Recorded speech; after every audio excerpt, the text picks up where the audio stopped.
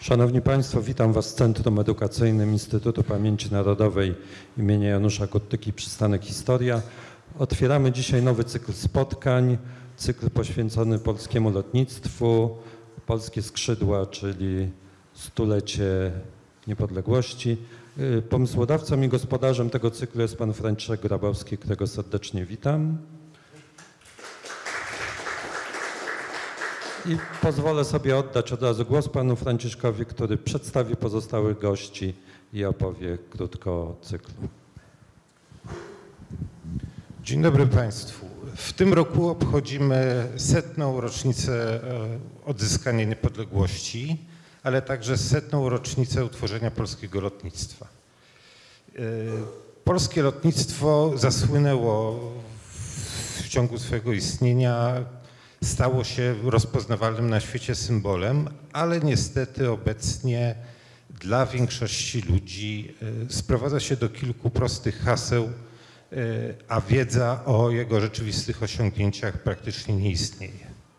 Stąd pomysł przeprowadzenia serii spotkań pokazujących rozwój polskiego lotnictwa od zaś do końca II wojny światowej i losów lotników polskich po II wojnie światowej jako e, tego okresu, gdzie legenda polskiego lotnictwa powstała.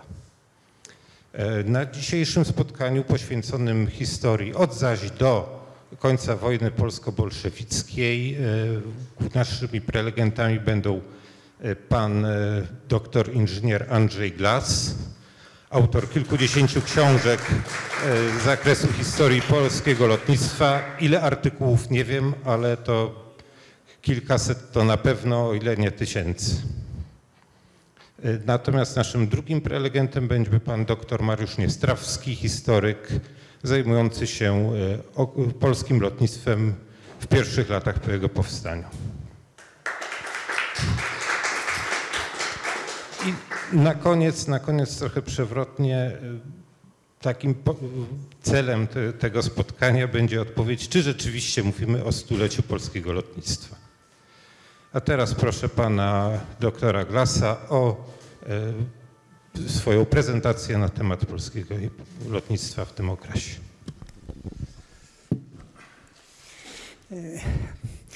Nasze lotnictwo nie ma tak wielkich tradycji jak Grecy, którzy zaczynali od Ikara, czy jak Włosi, którzy mieli Leonardo da Vinci, ale nie było tak źle, bo, ponieważ już za e, króla Władysława IV e, w 1648 roku e, spolonizowany Włoch Tytus e, Buratini, który tutaj już przyjął, że on jest Boratini, a e, jego jakiś tam tak wnukowie, to jeszcze do tej Polscy boratińscy są w Polsce.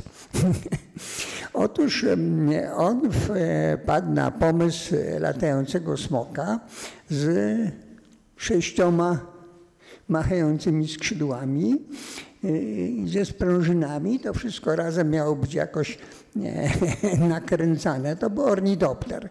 I e, w, dla zaprezentowania przed królem, powiedzmy tego, to zrobił tego model e, w, o rozpiętości półtora metra.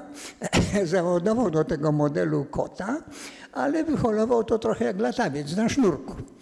No ale konstrukcja okazała się niewypróbowana, uszkodziła się w powietrzu, spadła na ziemię. Nie znamy losów kota, czy ucierpiał, czy nie. W każdym razie po tej próbie to król dalej nie finansował rozwoju tej imprezy.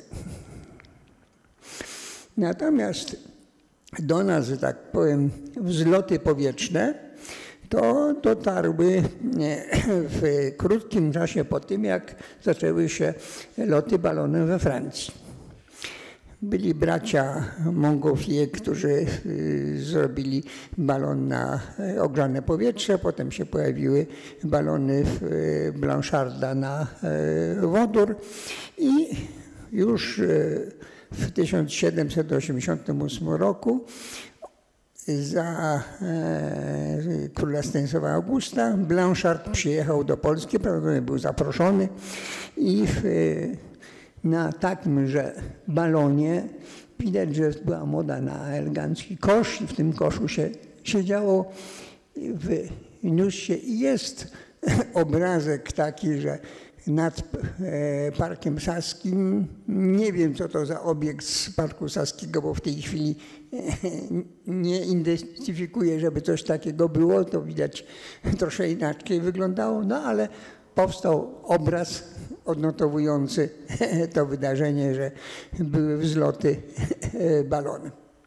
I w, również Blanchard przewiózł tam e, jednego z Polaków jako pasażera, także można powiedzieć, że Polacy zaczęli wtedy latać.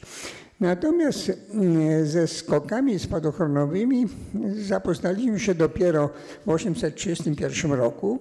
Przyjechał pan Garnerin z Francji ze swoją córką Elizą Garnerin i e, spadochron był podwieszany do balonu, potem się odcinał, że tak powiem, linka się odcinała i na tym spadochronie w koszu e, w, wykonywała skok e, panna Gardnerę. Z tym, że start się odbył z Placu Saskiego, lądowanie przy skrzyżowaniu Nowego Światu z Jerozolimskim. Lądowanie nie było zbyt szczęśliwe, bo się potłukła powiedzmy i, i, i bodajże zemdlała.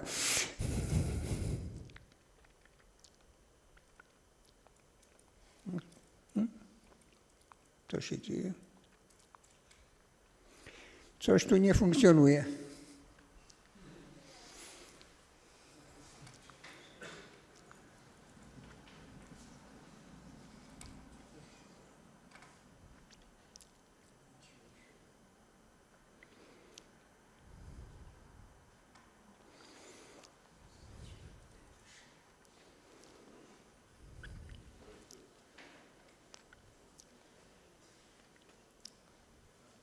Dobrze.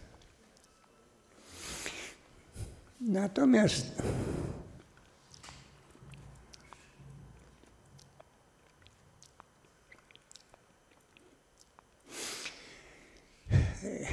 pierwsze próby szybowcowe w Polsce zrealizował e, malarz Czesław Tański, który e, malując konie w Janowie Podlaskim miał tam trochę czasu i zabrał się za e, budowę szybowców. Wpierw budował modele latające i to z napędem gumowym. Niewątpliwie to była słuszna droga, wypróbować wpierw coś na, na modelach, jak to wszystko zaczyna funkcjonować. Potem dopiero zabrał się za budowę. Coś się nie wiadomo, dlaczego nasunęły te.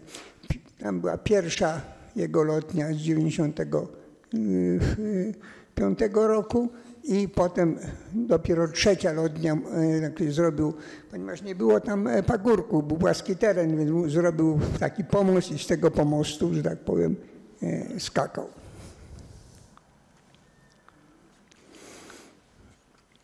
O. I tutaj widać dobrze tą całą lotnię, że on tylko trzymał się powiedzmy, a konstrukcja była z prętów wiklinowych, pokryta jedwabiem podklejonym bibułką, żeby to nie, nie przepuszczało powietrza. Natomiast tu coś się przesunęło, bo ten Lipkowski to należy do, do tego. Natomiast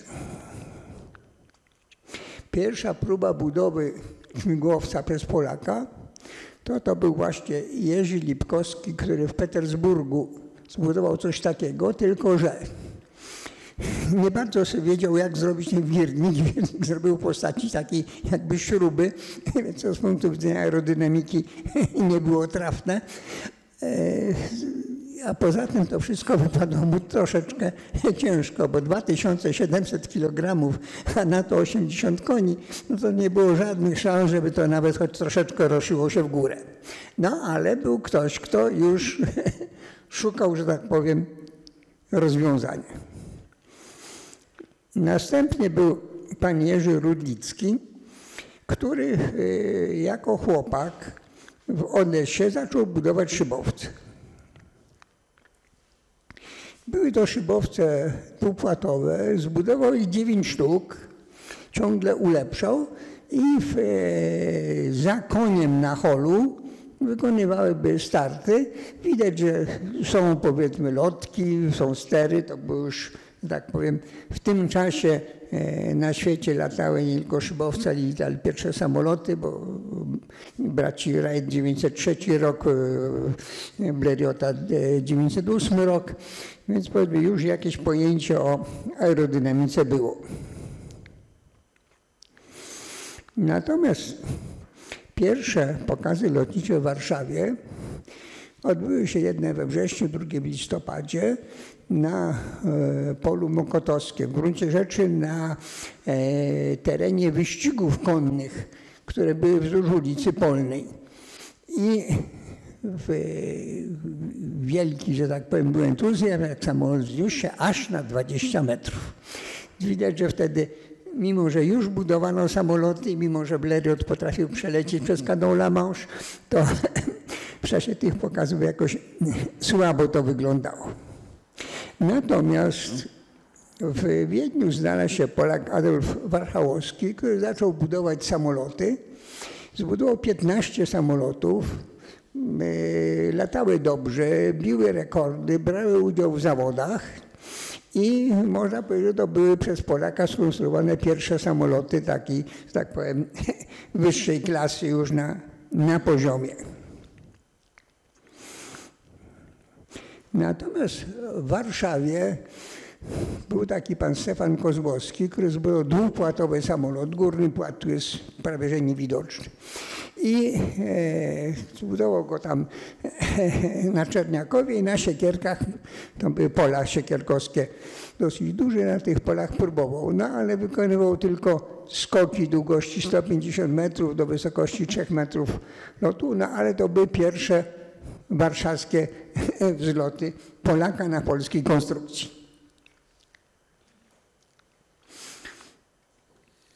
Natomiast w tym samym czasie w Tarnopolu pan Bronisław Głowiński zbudował samolot trochę zbliżony do samolotu Blériota, na którym wykonywał zupełnie poprawne loty, więc okazało się, że powiedzmy amator mógł nawet nie mając jakiejś specjalnej styczności ze środowiskiem technicznym, bo cóż to był Tarnopol, to nie był Lwów. W Lwowie mogły powstawać lepsze konstrukcje.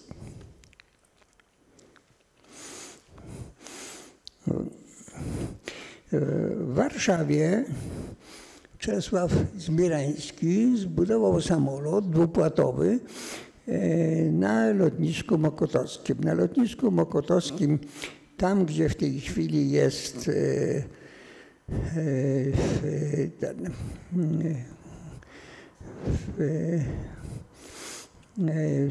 skrzyżowanie prawie, że trasy łazienkowskiej z niepodległości. Tam były tereny, gdzie powstały pierwsze hangary. Zresztą będziemy mówić, że powstała również tak zwana awiata tam i tam został zbudowany ten samolot, który wykonywał loty już na wysokość 60 metrów, więc uważano, że to jest osiągnięcie. Otóż jak zaczęły się pierwsze loty, to między innymi wykonano potem zdjęcie Warszawy z góry. I tutaj widzimy ogród Saski, widzimy plac Saski z cerkwią i z, i z dzwonnicą obok tego, no a pozostałe budynki to są te, które są powiedzmy na, między placem a e, krakowskim przedmieściem. E, widzimy hotel na krakowskim przedmieściu, ten sam co jest, natomiast tu budynki obok hotelu znikły, w tej chwili jest tam e, plac. Potem tam, tam dalej widzimy skwer z pomnikiem w, w Mickiewicza.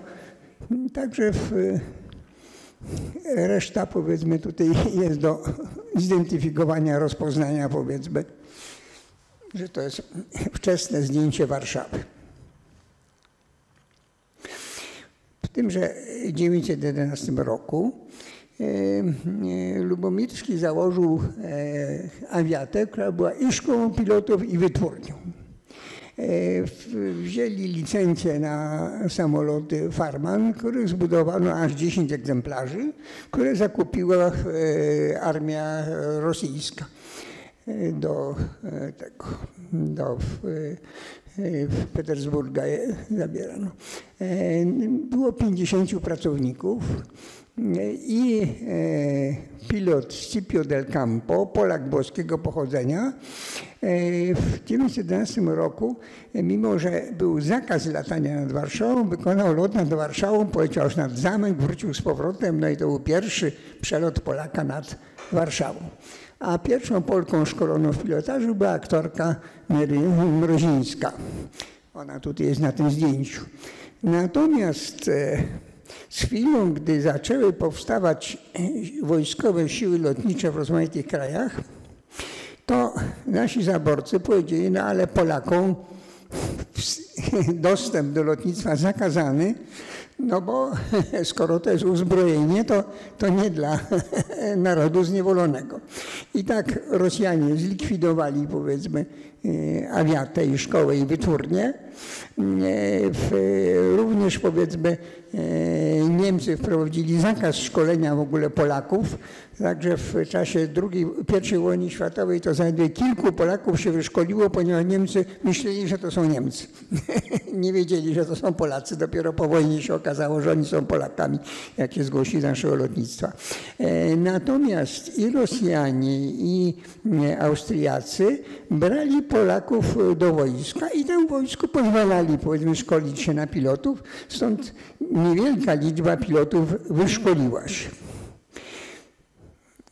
Warto zwrócić uwagę, że z chwilą, gdy zaczęło się zainteresowanie lotnictwem, to również zaczęło się ukazywać polskie czasopismo lotnicze. Lotnik i automobilista, tutaj reklamuje to awiatę, pierwszy numer lotnika z lipca 11 roku. To są wszystko te początki. Natomiast e, uczniowie zainteresowali się budową szybowców. E, Był taki pan, który się król nazywał, wydał broszurkę, jak zbudować szybowiec i w, e, wzorując się zresztą na, na rozwiązaniach francuskich, budowali szybowce, które naszym zdaniem były lotnią, ponieważ były sterowane tylko przesuwaniem nóg w lewo, w prawo, do przodu i do tyłu i pilot wisiał i startował na nogach i lądował na nogach. Tutaj powiedzmy te loty były w Klarysewie koło Konstancina e, wykonywane na tym szybowcu. Natomiast w Milanówku Władysław Zaleski zrobił szybowiec jednopłatowy. Widać tutaj jak na lince, bo ten co tutaj biegnie z przodu, to ciągnie go na lince.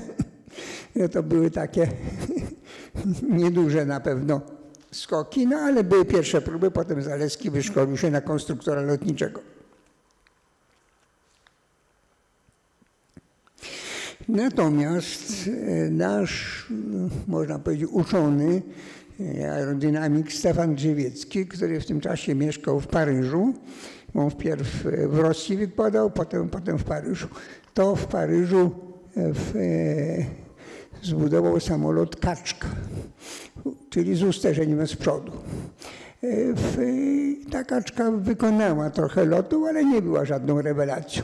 Natomiast Drzewiecki zasłynął projektowaniem śmigieł. Tutaj z boku jest rysunek jednego z jego śmigieł i na przykład samolot Blériota, na którym dokonano przelotu przez kanał La Manche, miał śmigło Drzewieckiego. E, Również powiedzmy wpierw bracia Wright studiowali pracę Drzewieckiego i projektując swoje śmigła korzystali powiedzmy z jego wyników badań na ten temat.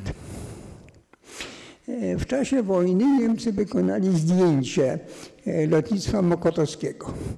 Po środku lotniska był hangar dla sterowców. Natomiast dobrze widoczny jest teren filtrów tam, który wygląda tak samo jak dzisiaj można powiedzieć, odgrodzony jest. E, Natomiast e, na górze jest maleńki rąbek e, w pola wyścigów. Widać taką zakrzywioną linię, to właśnie jest kraj pola wyścigów i w tym rogu właśnie były te zakłady awiata.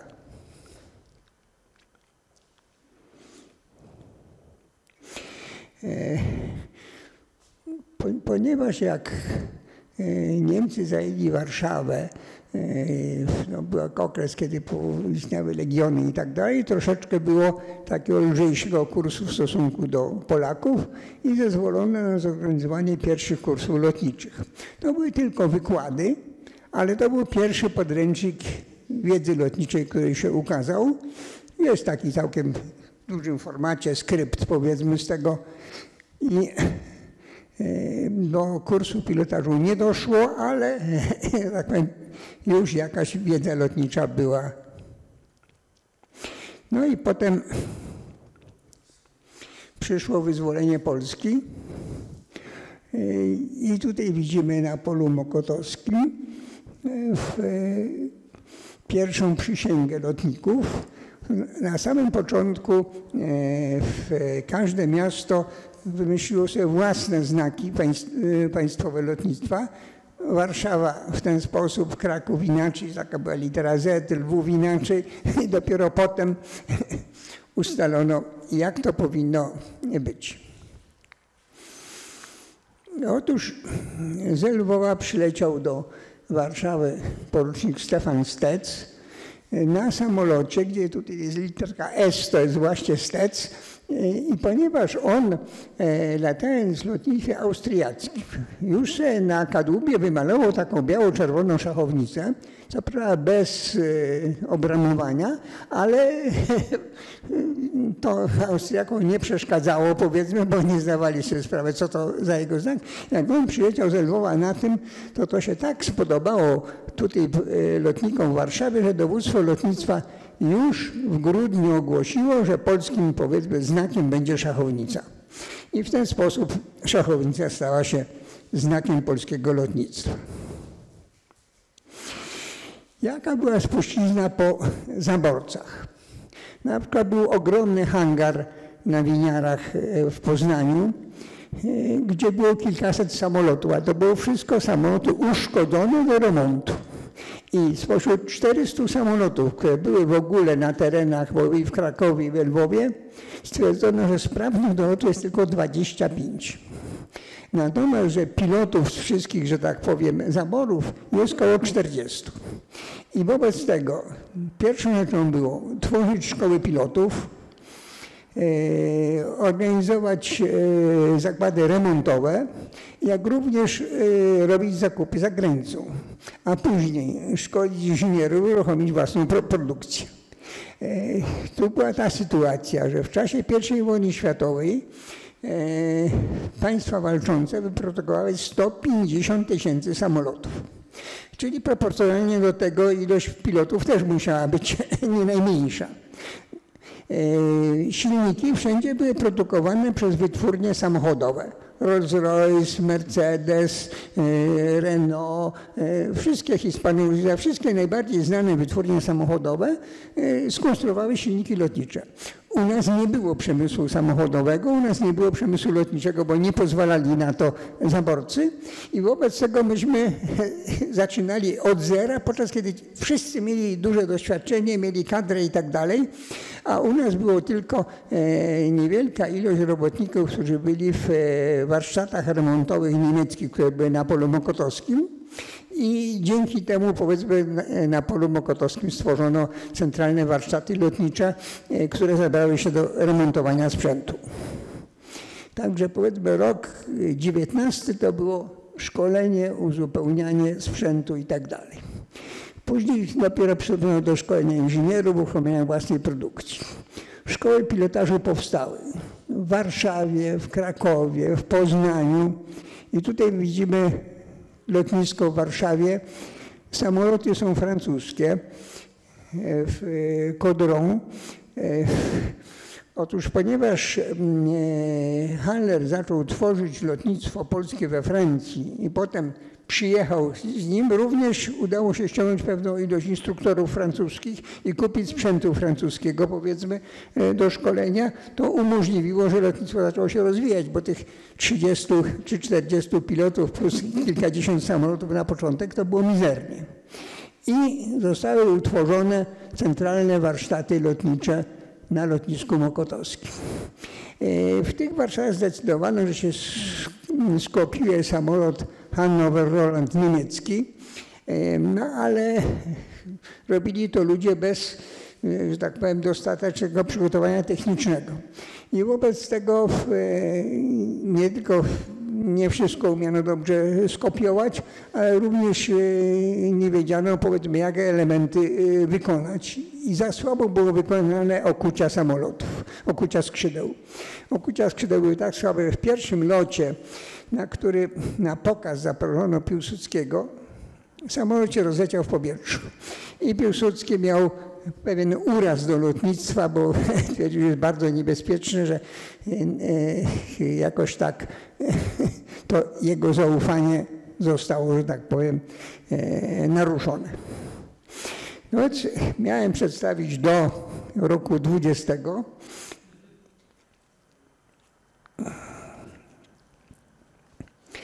Otóż w, z Francji e, w, gdzie w 18 roku zaczęły powstawać e, polskie siły lotnicze, również samoloty potem przeniosły się do Polski. Ten samolot Breguet ma jeszcze na skrzydłach znaki francuskie, a na usterzeniu ma już domalowaną e, szachownicę.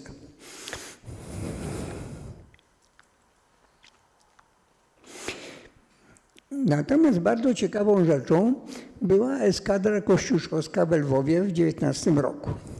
Otóż, e, gdy zaczęły się tam, powiedzmy, e, wpierw walki o Lwów, a potem zagrożenie e, ze strony Związku Sowieckiego, to raptem z Ameryki ochotnicy, mimo tego, że kiedyś Kościuszko i Pułaski pomagali w, im, uznali, że oni powinni pomóc Polsce.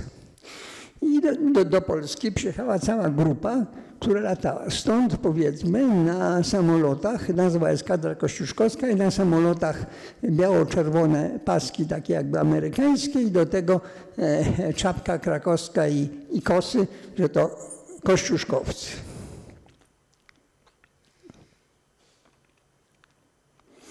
O, tam to był Albatros. I ochotnicy amerykańscy było ich aż 17. E, szefował im Faunt Leroy. Tutaj są zdjęcia powiedzmy. I oni zasłynęli tym, że wykonywali lotem koszącym ataki na konicę budionnego. Robili to tak skutecznie, że jak codziennie ją rozganiali, to ta konica nie była w stanie posuwać się naprzód. I zarówno ona nie doszła do Lwowa, jak i potem miała pójść na pomoc do ataku na Warszawę i też nie dotarła, bo została przez lotnictwo po prostu zatrzymana. Także można powiedzieć, że e, dużo, że tak powiem, przyczynili się do obronienia Polski, mimo że to była mała grupka, powiedzmy, e, ludzi. I tutaj jest jeszcze pomnik w Lwowie właśnie e, poległych lotników amerykańskich. Trzech z nich zginęło.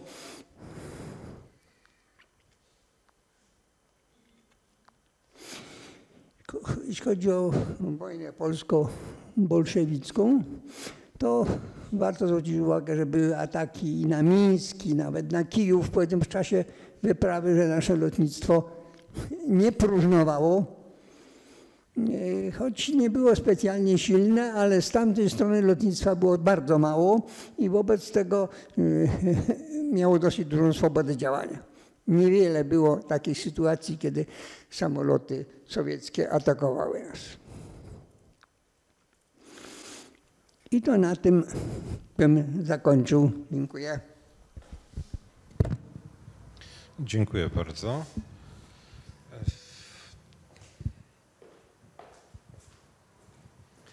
Więc teraz, teraz chciałbym porozmawiać z panem e, doktorem Niestrawskim o e, historii polskiego lotnictwa właśnie w okresie walk o niepodległość.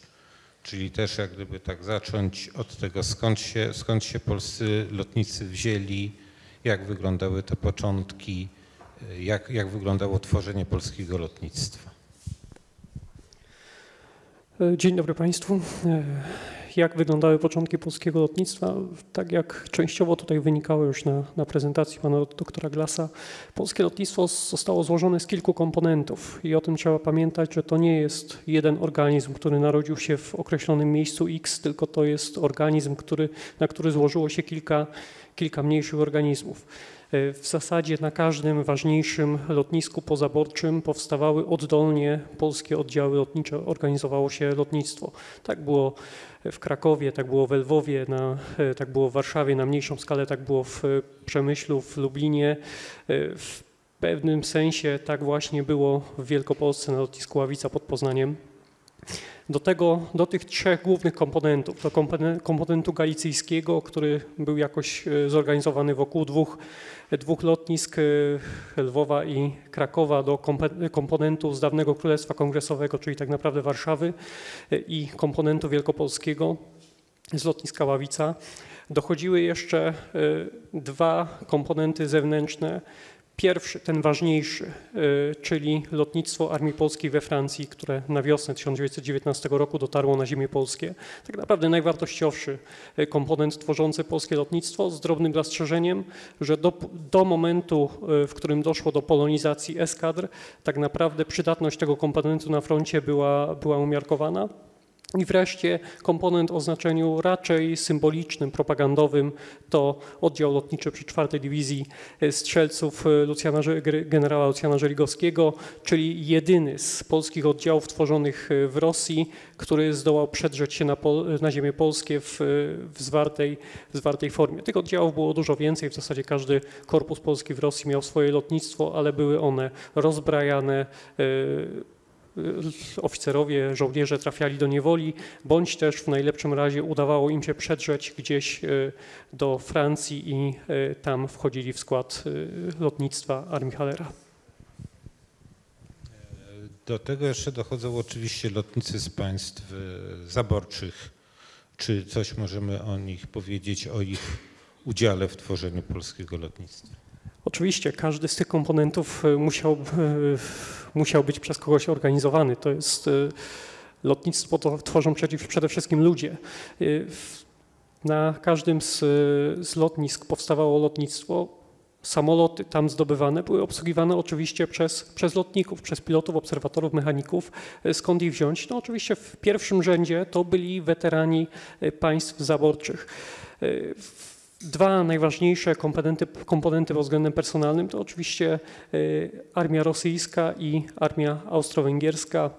Jeśli chodzi o samych oficerów, to, e, to były one zbliżone e, w momencie tworzenia polskiego lotnictwa. Można mówić, że z jednej strony byli, byli oficerowie z korpusów polskich w Rosji i z armii rosyjskiej, to jest około osiem- 80 osób, pilotów, obserwatorów, także innych oficerów innych specjalności w, w przypadku e, Galicji, z dawnej armii e, austro-węgierskiej. Także mamy około 80 oficerów, e, pilotów, obserwatorów i tak dalej, oficerów technicznych. E, Do tego około 10 związanych z legionami polskimi, także te dwa komponenty się równoważą. Pamiętajmy rzecz jasna o podoficerach, o żołnierzach, ale no to są już e, zupełnie inne liczby. Jeśli chodzi o e, Wielkopolskę, tutaj wyglądało to dużo gorzej, tak jak pan doktor Glas wspomniał. E, W armii niemieckiej Polacy mieli bardzo trudną drogę do zdobycia stanowisk oficerskich, zwłaszcza w broniach technicznych, takich jak lotnictwo.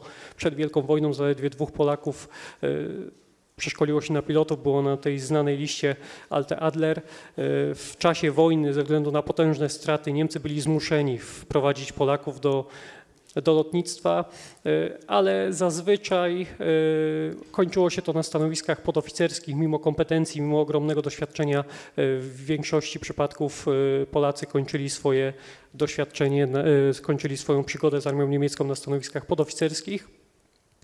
No i wreszcie dochodzimy do, do lotnictwa Armii Polskiej we Francji. To są także weterani Armii Rosyjskiej w, z- w zdecydowanej większości, bo do tego dochodzą także także jeńcy z, z państw centralnych, e, którzy, którzy zasilali to lotnictwo, a także e, mamy pobór, e, pobór rekruta, w, e, ale to byli zazwyczaj ludzie, którzy obejmowali niższe stanowiska, jakieś e, służby pomocnicze, ewentualnie mechanicy gdzieś werbowani po francuskich fabrykach.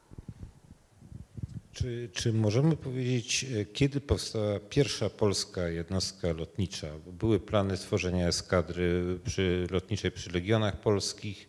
Mamy właśnie wspomnianą e, armię generała Hallera, mamy e, polskie jednostki w, w Rosji. Czy, czy możemy tutaj powiedzieć, kto, kto ma palmę pierwszeństwa, jeżeli chodzi o stworzenie takiej stricte polskiej jednostki?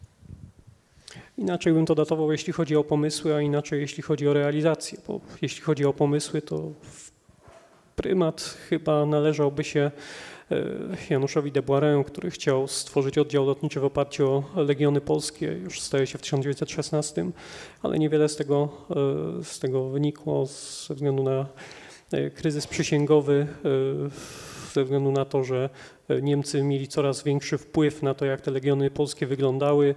O ile e, przy Austro-Węgrzech można było o czymś takim myśleć, o tyle Niemcy podchodzili do, do Polaków bardzo, bardzo ostrożnie. E, w- August Męczak chciał także stworzyć, stworzyć oddział lotniczy, przeszkolić Polaków e, w, lotnictwie, w pilotażu, stworzyć z tego e, polski, polski oddział. Tutaj także niewiele z tego wyniknęło, ale tu już był efekt e, przejścia e, przez drugą Brygadę Legionów Frontu. To znowu zniechęciło państwa centralne do, do Polaków. Natomiast jeśli chodzi o rzeczywistą realizację tych zamierzeń, no to tutaj prymat należy do oddziałów polskich tworzonych, lotniczych e, oddziałów polskich tworzonych w Rosji. Po rewolucji lutowej e, nastał zupełnie, zupełnie inny klimat. E, Zaczęto zezwalać na tworzenie polskich oddziałów lotniczych, e, ale nie tylko oddziałów lotniczych, tak naprawdę tworzenie polskich jednostek wojskowych. E, Utworzono pierwszy e, Korpus Polski pod dowództwem generała Józefa Dobor-Musińskiego i to właśnie w tym, w tym korpusie już w 1917 roku zaczęto organizować polski, pol- pierwszy polski oddział lotniczy na bazie spolonizowanego XIX oddziału myśliwskiego. Czy jeszcze, e, tak może personalnie zapytam, czy jest Pan w stanie tak wskazać kilka osób, które zasługują na szczególne uwzględnienie ze względu na swoje dokonania w okresie I wojny światowej? Tutaj jeszcze, może wracając do poprzedniego pytania, zwróciłbym uwagę, że w tym, że właśnie lotnictwie pierwszego Korpusu Polskiego doszło do pierwszego lotu polskiego samolotu z polskimi znakami. E, 3 maja 1918 roku dokonał tego podporucznik Edmund e, Norwid Kudło, później zresztą zasłużony w czasie wojny polsko-bolszewickiej. E, Jeśli chodzi o bardziej znanych e, Polaków e, w czasie I wojny światowej, no to pierwszym, który przychodzi na myśl jest oczywiście Mieczysław Garszczka, e, cytując e, tytuł, tytuł książki Polski As Kaisera, czyli jedyny Polak niekwestionowany as myśliwski e, I wojny światowej. E, Warto wymienić e, z punktu widzenia wojska polskiego, bo niekoniecznie, niekoniecznie Polaków, e, Franciszka Petera, kolejnego asa myśliwskiego, tym razem z lotnictwa austro-węgierskiego, z tym, że mimo, że służył on w Wojsku Polskim, to z polskością miał niewiele wspólnego, ale ze względu na jego późniejszą karierę pamiętać o nim należy. Trzeba pamiętać oczywiście o Stefanie Stecu, autorze co najmniej trzech zwycięstw powietrznych, także lotniku armii austro-węgierskiej, e, głównie ze względu na to, jak, e, jak później zasłużył się dla, dla e, polskiego lotnictwa, dla obrony Lwowa. E, To, co widzieliśmy na prezentacji, czyli e, to właśnie od niego zaczęła się szachownica lotnicza w, w Wojsku Polskim. Oczywiście nie on to wymyślił, ale, ale on to przekazał, e, przekazał na całe polskie lotnictwo. Kto dalej? E, Z lotnictwa armii rosyjskiej e, pewnie wypadałoby wymienić Sergiusza Brzętowskiego, wybitnego teoretyka użycia lotnictwa, Jerzego Kosowskiego, który później w latach dwudziestych stworzył polskie lotnictwo myśliwskie. по-английски. Jerzego Rudlickiego, którego nazwisko już dzisiaj widzieliśmy, konstruktora lotniczego. Wracając znów do, do armii austro-węgierskiej, Stanisława Jasińskiego, jednego z pierwszych polskich teoretyków użycia, użycia lotnictwa w niepodległej, w niepodległej Polsce. W zasadzie można by było, można by było mnożyć te, te przykłady, można by było mówić o domniemanych asach myśliwskich, takich jak Mroczkowski, jak Grochowalski, no ale myślę, że nie o to chodzi. Lepiej podać mniejszą grupę pilotów i, i chociaż kilka nazwisk z tej listy zapamiętać. Mamy też dość egzotycznego lotnika, mianowicie późniejszego generała Ludomiła Rajskiego, który latał w lotnictwie tureckim. Czy jeszcze mamy jakieś takie postacie, które no, w sposób dość niezwykły zaistniały w, Pols w przyszłym polskim lotnictwie? No, Rajski to postać, postać no, niebywała i jego ścieżka, jego droga do, do lotnictwa polskiego jest, jest niezwykle długa.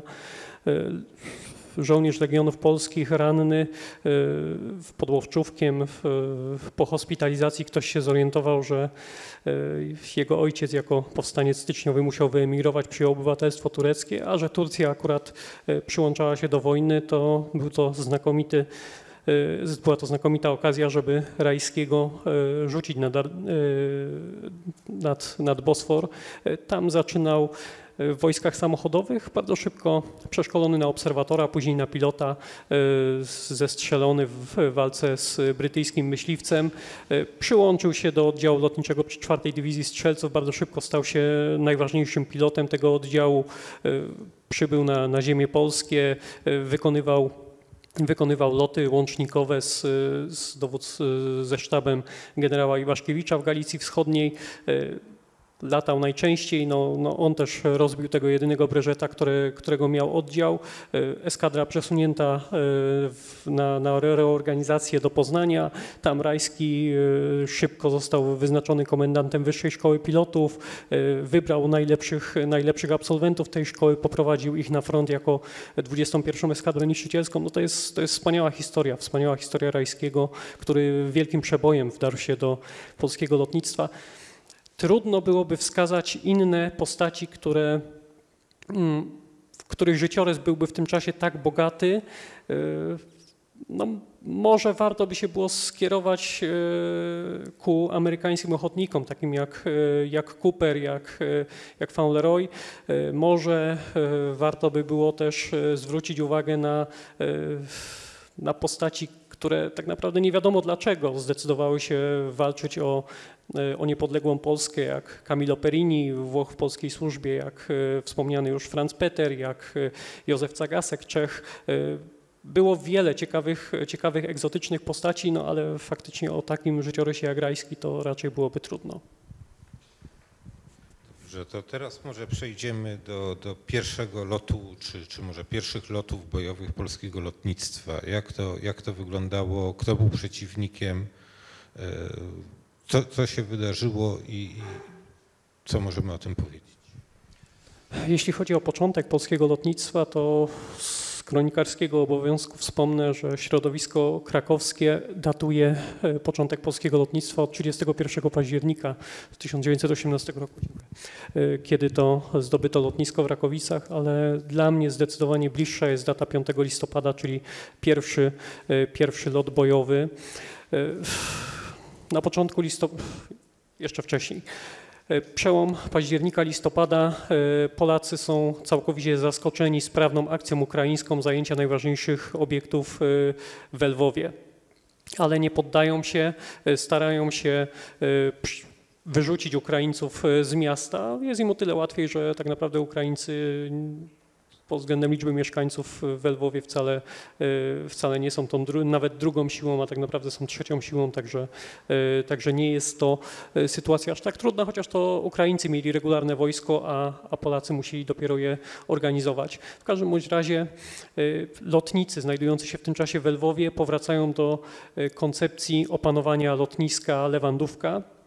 Na początku listopada udają się na lotnisko, żądają od austriackiego Niemca wydania całego majątku w ręce polskie. Spotykają się z twardą odpowiedzią, y, nie ma na to mowy. Y, Austriacki Niemiec byłby raczej gotów oddać y, majątek Ukraińcom i to tylko w wypadku użycia siły. Nie miał ochoty przekazywać samolotów w ręce polskie, ale jednocześnie wysłał też swoich ludzi do sprowadzenia, sprowadzenia Ukraińców, Rusinów, e, ale e, przypadkiem na lotnisko przedarł się e, patrol e, studenta Józefa Otowskiego, e, który odrzu odrzucił nadjeżdżających Ukraińców, powstała strzelanina, e, dowódca lotniska był kompletnie zdezorganizowany, nie wiedział co się dzieje, zażądał tylko potwierdzenia na piśmie, że oto uległ przemocy, wydał cały majątek w ręce polskie, tak naprawdę trzech, e, e, trzech nieuzbrojonych polskich lotników, e, Bastyra, Debuarena i Torunia, e, ponieważ e, w tym czasie patrol Otowskiego ze względu na własnych rannych musiał się wycofać. Ale udało się przejąć majątek i mi- mimo trwających następnie strzelanin w, rejonie lotniska, lotnicy zajęli się remontowaniem samolotów. Wszystkie samoloty były uszkodzone.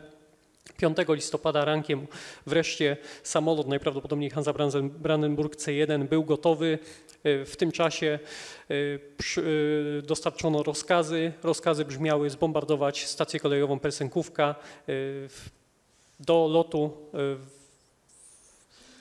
do lotu e, uszykowała się załoga, e, porucznik e, Stefan Bastyr i porucznik, porucznik Stefan Bastyr, porucznik obserwator Janusz de Boirin. Zrzucili oni trzy e, 15-kilogramowe bomby na persenkówkę. Realny efekt tych nalotów no, raczej był skromny, ale liczył się efekt psychologiczny, to, że Polacy mieli lotnictwo, a w tym czasie tego lotnictwa nie mieli Ukraińcy. Lotnisko stało się od tego momentu magnesem, który ściągał innych weteranów e, lotnictwa austro-węgierskiego z, z Lwowa. Niektórzy musieli przedrzeć się przez e, linie ukraińskie. E, W ten sposób powstawała, powstawała eskadra lwowska, późniejsza szósta eskadra wywiadowcza. Rozrost, e, rozrost tego oddziału był e, niezwykle dynamiczny. Od trzech e, lotników na początku listopada do 150 e, oficerów, podoficerów, żołnierzy na początku trzeciej dekady listopada, kiedy to Lwów został, został odblokowany. Lotnikom polskim z Lwowa przypadł zaszczyt stoczenia pierwszych walk powietrznych w historii polskiego lotnictwa. Tutaj toczyli walki z lotnictwem e, Zachodnioukraińskiej Republiki Ludowej. Czy coś możemy więcej o tym powiedzieć?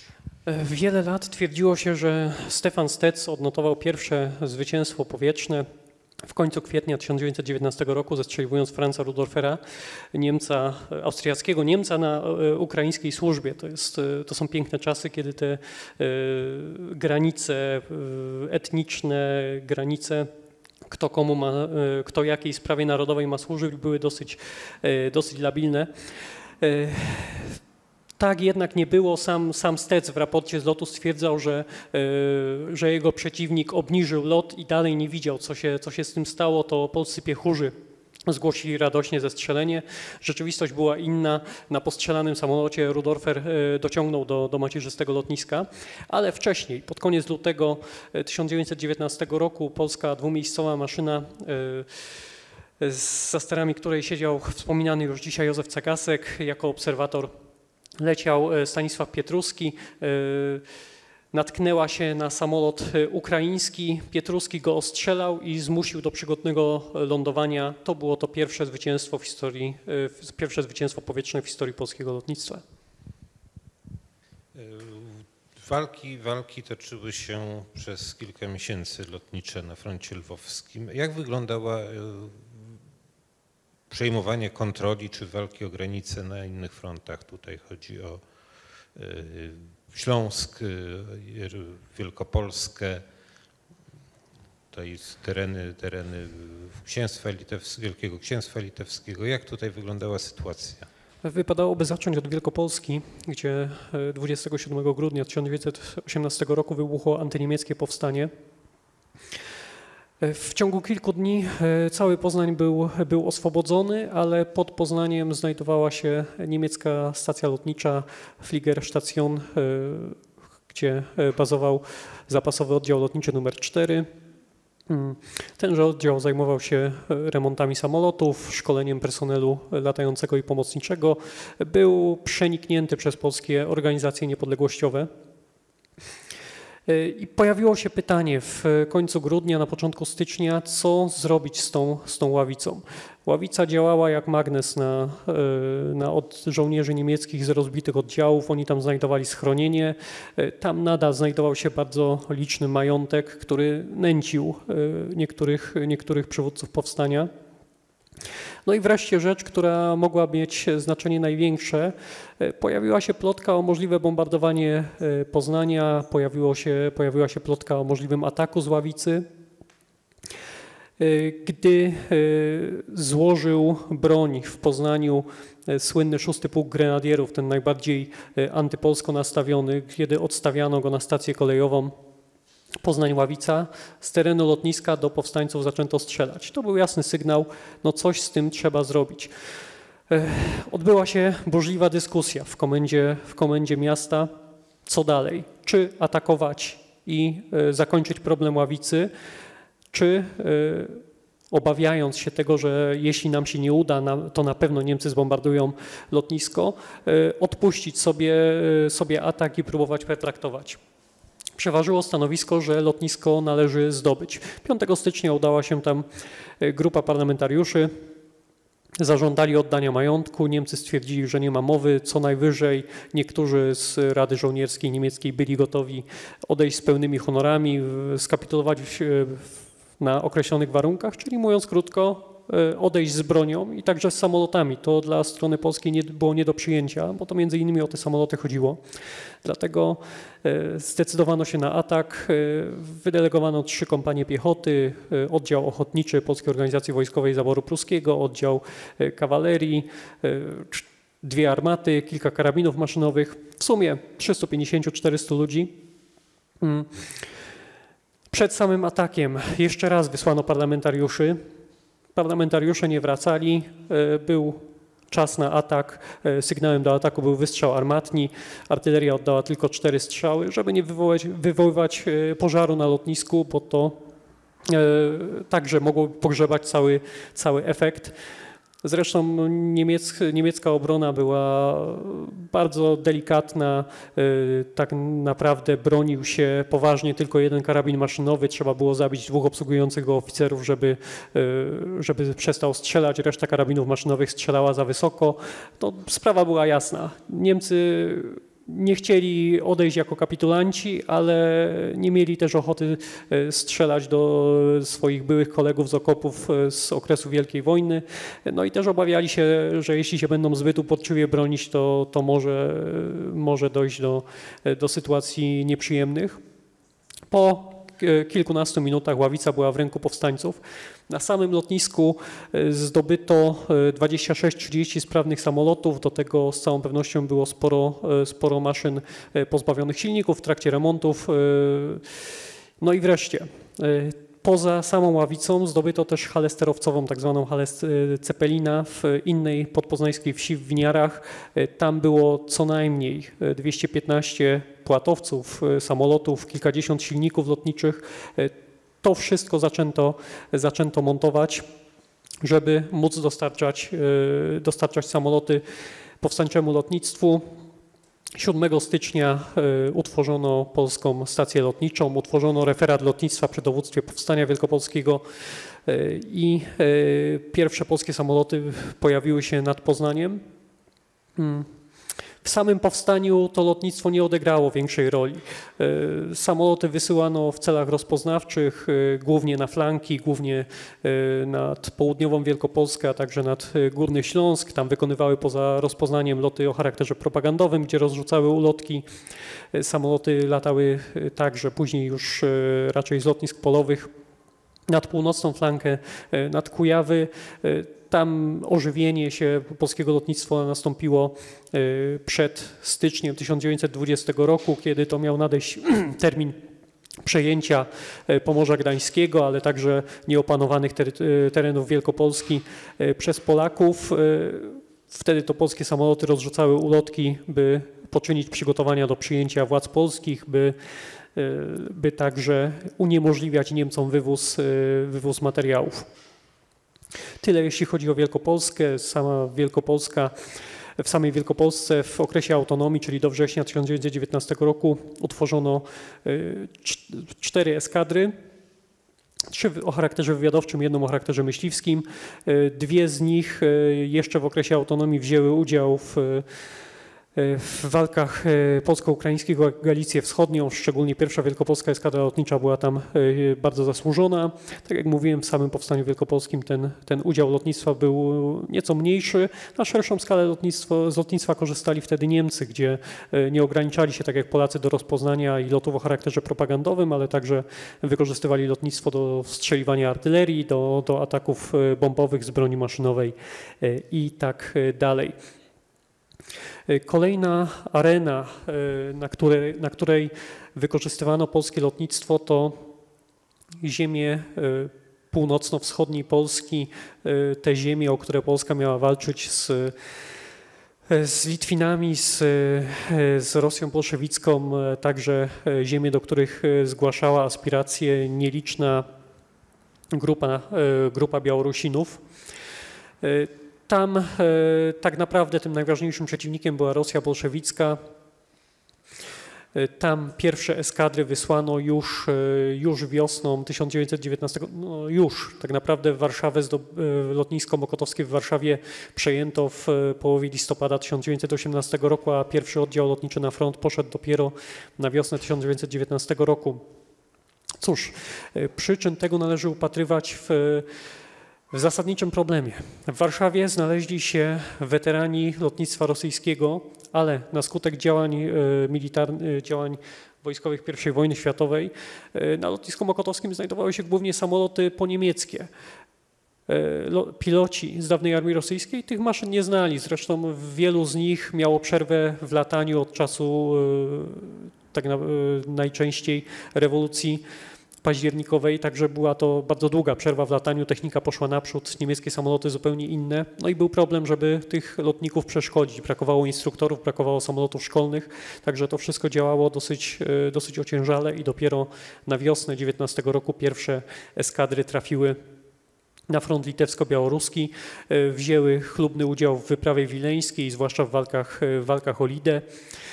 Później latem, latem 1919 roku silnie wspierały e, silnie wspierały e, polskie wojska w czasie walk o Mińsk, o Bobrójsk, e, bombardowały te miasta wraz z przetaczaniem się frontu, zajmowały, zajmowały lotniska i stamtąd operowały. Po ustabilizowaniu się frontu jesienią 1919 roku Eskadry wykonywano głównie, e, wykorzystywano głównie do lotów e, rozpoznawczych, dalekich lotów rozpoznawczych połączonych z bombardowaniem najważniejszych węzłów kolejowych jak Żłobin, Rochaczów. E, tutaj w tych zadaniach specjalizowały się eskadry wielkopolskie, które w tym czasie trafiły na, na front litewsko-białoruski, pierwsza, druga i trzecia wielkopolskie eskadry lotnicze. Czy przechodzimy do Górnego Śląska, do Śląska Cieszyńskiego, czy tak, tak. czekamy na... To tak, tak. To, moment.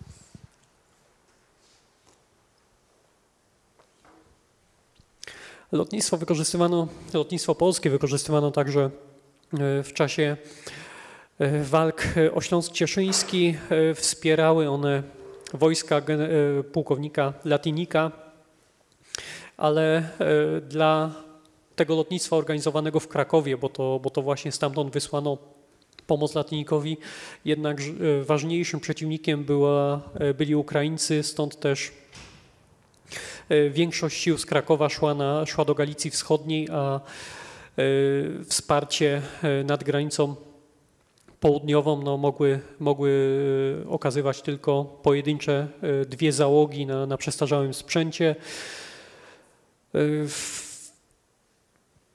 Na przełomie 1919-1920 roku Trochę polskie lotnictwo nad y, pograniczem y, z Czechosłowacją się ożywiło. Miało to związek z tym, że do Krakowa zostały przebazowane eskadry Armii Halera.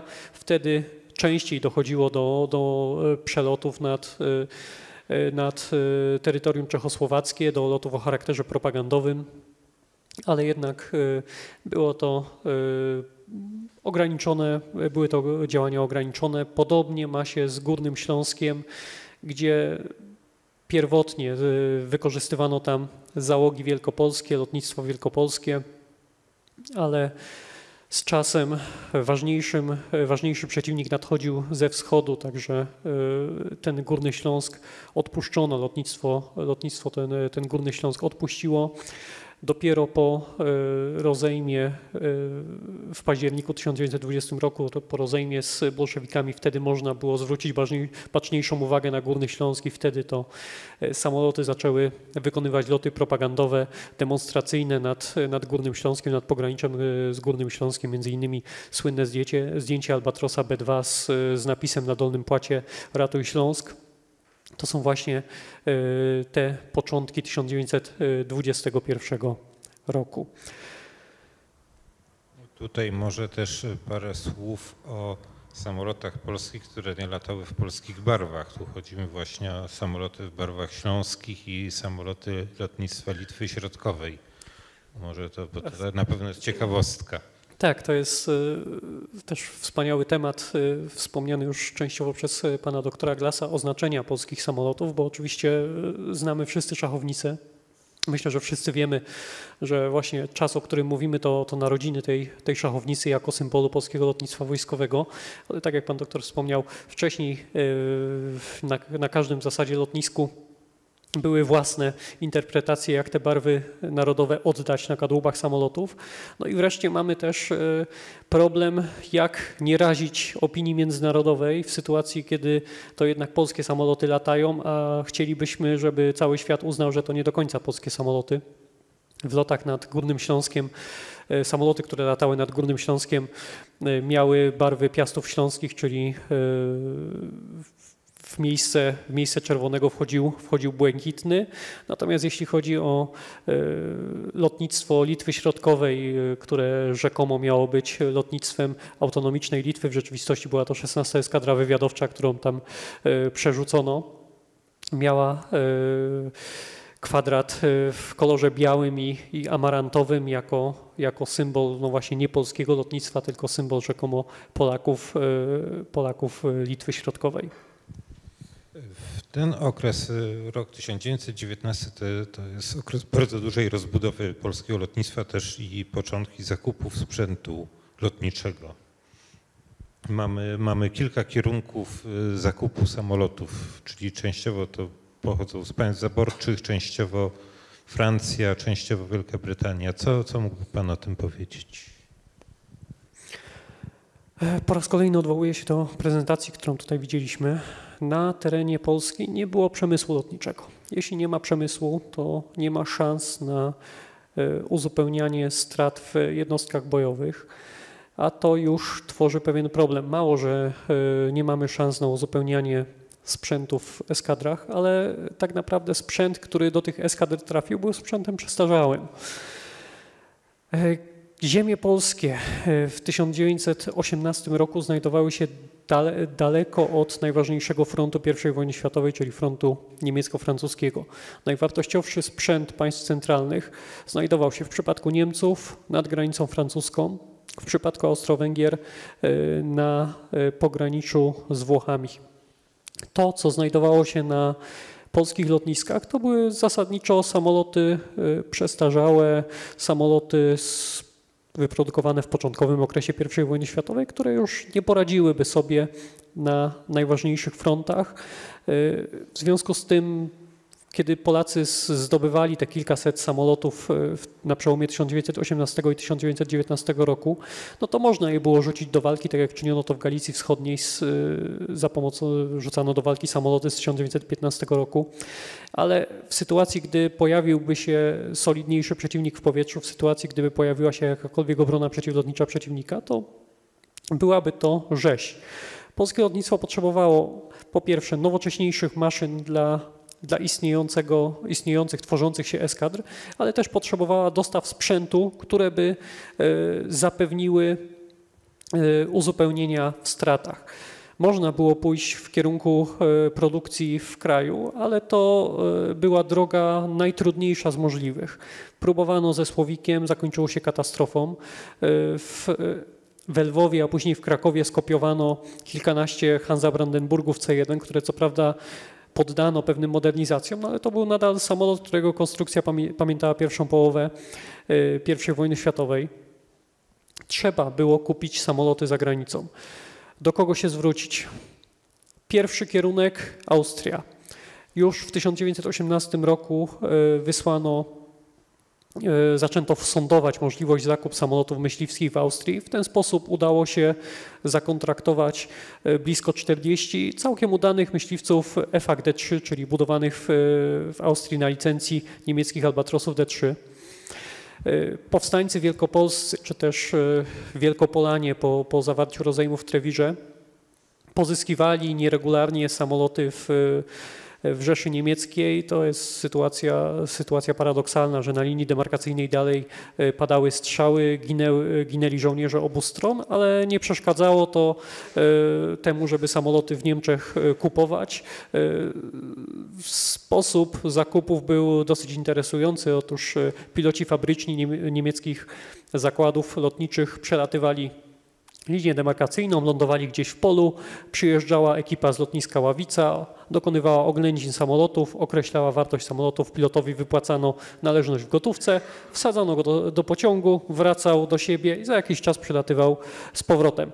E, były to zakupy nieregularne, ale e, udawało się w ten sposób zakupić maszyny bardzo wartościowe, Fokery D7, LVGC5, e, samoloty e, no, o, dużej, e, o dużej jakości.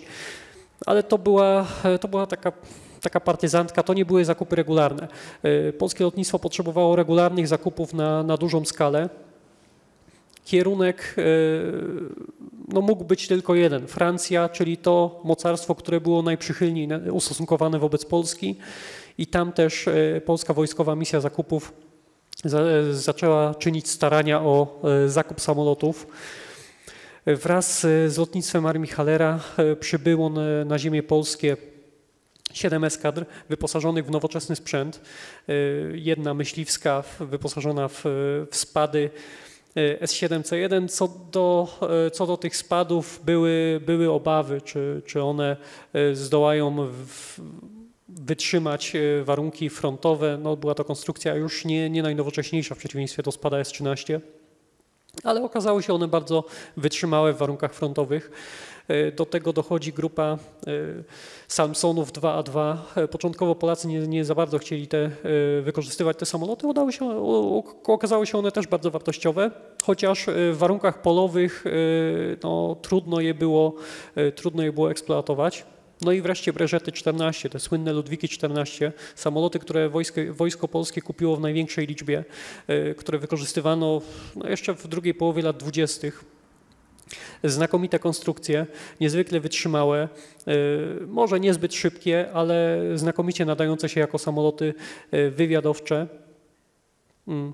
Poza samą, samym lotnictwem Armii Halera Pozyskiwano także te samoloty y, później jako, jako dostawy, jako uzupełnienia do, do innych eskadr. we Francji pozyskano także samoloty szkolne. Y, to Francja była właśnie tym najwa najważniejszym dostawcą samolotów dla Wojska Polskiego. Samoloty, które przybyły z armią Halera, miały znaczenie głównie w, w, końcówce 1919 i przede wszystkim w decydującym roku wojny y, polsko-bolszewickiej. Kolejny dostawca to to Włochy. E, dlaczego Włochy? Kierunek dosyć egzotyczny, dlatego że samoloty włoskie były tanie, a to miało dla, dla państwa polskiego dosyć duże znaczenie. E, stamtąd sprowadzono przede wszystkim Ansaldo A1 Balila, samoloty, które od, 1900, od początku 1920 roku zaczęły napływać nad Wisłę. Trafiały one bez wyjątku do siódmej eskadry myśliwskiej imienia Tadeusza Kościuszki, czyli latali na nich zarówno polscy, jak i amerykańscy piloci tej eskadry. E, dopiero po wojnie w te samoloty zaczęto uzbrajać też, e, też inne eskadry. Przepraszam. E, A300 trafiły tak naprawdę do Polski już po zakończeniu wojny z bolszewikami, więc miały tutaj znaczenie drugorzędne, podobnie jak wodnopłatowce, które zasiliły bazę w Pucku. No i zostaje nam Wielka Brytania. Też kierunek e, bardzo ciekawy, e, z tego względu, że część samolotów z Wielkiej Brytanii Polacy dostali jako darowiznę rządu e, króla, króla Jerzego VI.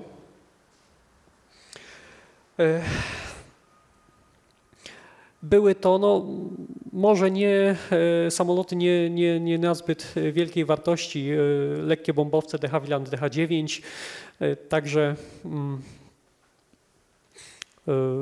także e, dolfiny, myśliwskie e, dolfiny. Zdecydowanie wartościowszy sprzęt z Wielkiej Brytanii uzyskano drogą zakupów.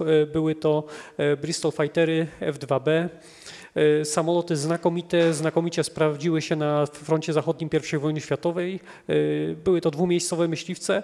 No, w Polsce do tego problemu e, podeszło się trochę inaczej. Skoro samolot dwumiejscowy, no to należy go wykorzystywać jako samolot wywiadowczy. Może źle, bo, bo nie był to samolot y, stworzony do, do tej funkcji, ale może też dobrze, bowiem ze względu na brak przeciwdziałania w powietrzu y, te samoloty jako dwumiejscowe myśliwce pewnie i tak się zmarnowały, y, i tak by się zmarnowały. Więc no, tak, tak, tak potoczyła się historia. Być może była to decyzja uzasadniona. Bristol Fighterów pozyskano przeszło, przeszło 100 sztuk napłynęły w 1920 roku, co bardzo ważne, y, samoloty z Wielkiej Brytanii, z Francji. Pewna grupa tych maszyn napłynęła właśnie w sierpniu 1920 roku, czyli wtedy, kiedy polskie, polskie wojsko szykowało się do E, odwrócenia losów wojny, do odrzucenia Armii Czerwonej e, spod Warszawy, spod Lwowa daleko na wschód. Wtedy właśnie wiele eskadr e, udało się zasilić sprzętem, sprzętem zagranicznym, także to była pomoc o, o gigantycznym znaczeniu. To, że w, w czasie, kiedy Piąta Armia Sikorskiego uderzała na Nasielsk, kiedy, e, kiedy grupa uderzeniowa e, marszałka Piłsudskiego uderzała z nad, z nad Wieprza, to, że te e, te armie, te, te grupy armii były wspierane z powietrza, to było możliwe tylko i wyłącznie przez to, że właśnie w tym czasie napłynęły samoloty zakupione za granicą, zakupione w Wielkiej Brytanii oraz we Francji.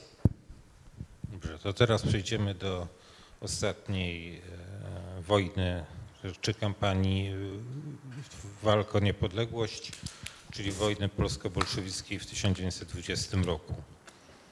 E, jak wiadomo, wojna rozpoczęła się od prewencyjnego polskiego uderzenia i pierwszy etap zakończył się w Kijowie. Jak możemy opisać działania polskiego lotnictwa w tym okresie? Ja tutaj pozwoliłbym sobie wyrazić e, swoje zdanie. Wojna zaczęła się w 1919 roku od starć na, e, na terenach litewsko-białoruskich, oczywiście geograficznie patrząc. Później e, front się ustabilizował w momencie, kiedy wojska polskie dotarły tak daleko na wschód, że dalej nie było sensu przeć. E, ostatnie tygodnie 1919, 1900, pierwsze tygodnie 1920 to e, wzajemne zapewnienia o e, chęci pokoju i próba zwodzenia, głównie ze strony Związku, przepraszam bardzo, Rosji Radzieckiej, próba zwodzenia Rosji Radzieckiej, polskich, polskich dyplomatów, że oto chcą oni pokoju. Tak naprawdę, że żadną z tych deklaracji nic, nic nie szło. W związku z czym dowództwo Wojska Polskiego zdało sobie sprawę, że e, trzeba liczyć się ze wznowieniem działań, e, działań zbrojnych, trzeba liczyć się e, z potężnym przeciwnikiem, który powoli, powoli uporywał się już z, z obcą interwencją, powoli uporywał się z białymi generałami. Trzeba było liczyć się, z, że tym razem przyjdzie do konfrontacji z całą potęgą Armii Czerwonej. No i były dwie możliwości ze względu na układ geograficzny, ze względu na e, bagna e, Prypeci, e, na fatalny układ dróg, zarówno bitych, jak i żelaznych. Było jasne, że cały teatr działań wojennych zostanie podzielony na dwie części, część północną i część południową. No i należało wybrać, gdzie dojdzie do tej konfrontacji z Armią Czerwoną. Józef Piłsudski zaryzykował, uznał, że Najpierw do, y, Armia Czerwona zgromadzi siły na, na południowym odcinku frontu, w związku z czym zaczęto ściągać siły Wojska Polskiego na, na południe do Galicji Wschodniej, by uderzyć e, w kierunku na Kijów. W trakcie tej koncentracji było już jasne, że e, nastąpiła pomyłka, że e, jednak tym ważniejszym frontem będzie front zachodni Michała Tuchaczewskiego, a nie front południowo-zachodni Aleksandra Jegorowa. Ale zamiast ryzykować i przerzucać wojska na powrót na północ w czasie i właśnie w trakcie tego przerzucania wojsk mogło dojść do ataku na, na którymś z frontów, zdecydowano się mimo wszystko zaatakować na południu. Zresztą sprzyjało to koncepcji Józefa Piłsudskiego y, stworzenia sfederalizowanej z Polską, sprzymierzonej Ukrainy, y, w związku z czym nie, nie, nie chciał on już modyfikować swojego planu do ataku e, zgodnie z zasadą e, prowadzenia wojny. Skoncentrowano też większe siły lotnicze, aczkolwiek nie wszystkie, które, które planowano e, skoncentrować. Trzy uderzające na, na Ukrainie polskie armie miały wsparcie trzech dywizjonów lotniczych, kilku eskadrowych dywizjonów lotniczych. Oczywista sprawa była na odcinku, na odcinku szóstej armii gdzie e, wsparcie zapewniał trzeci dywizjon lotniczy, ten dywizjon galicyjski. Trochę bardziej skomplikowanie wyglądała sprawa na, na odcinku dwóch pozostałych armii.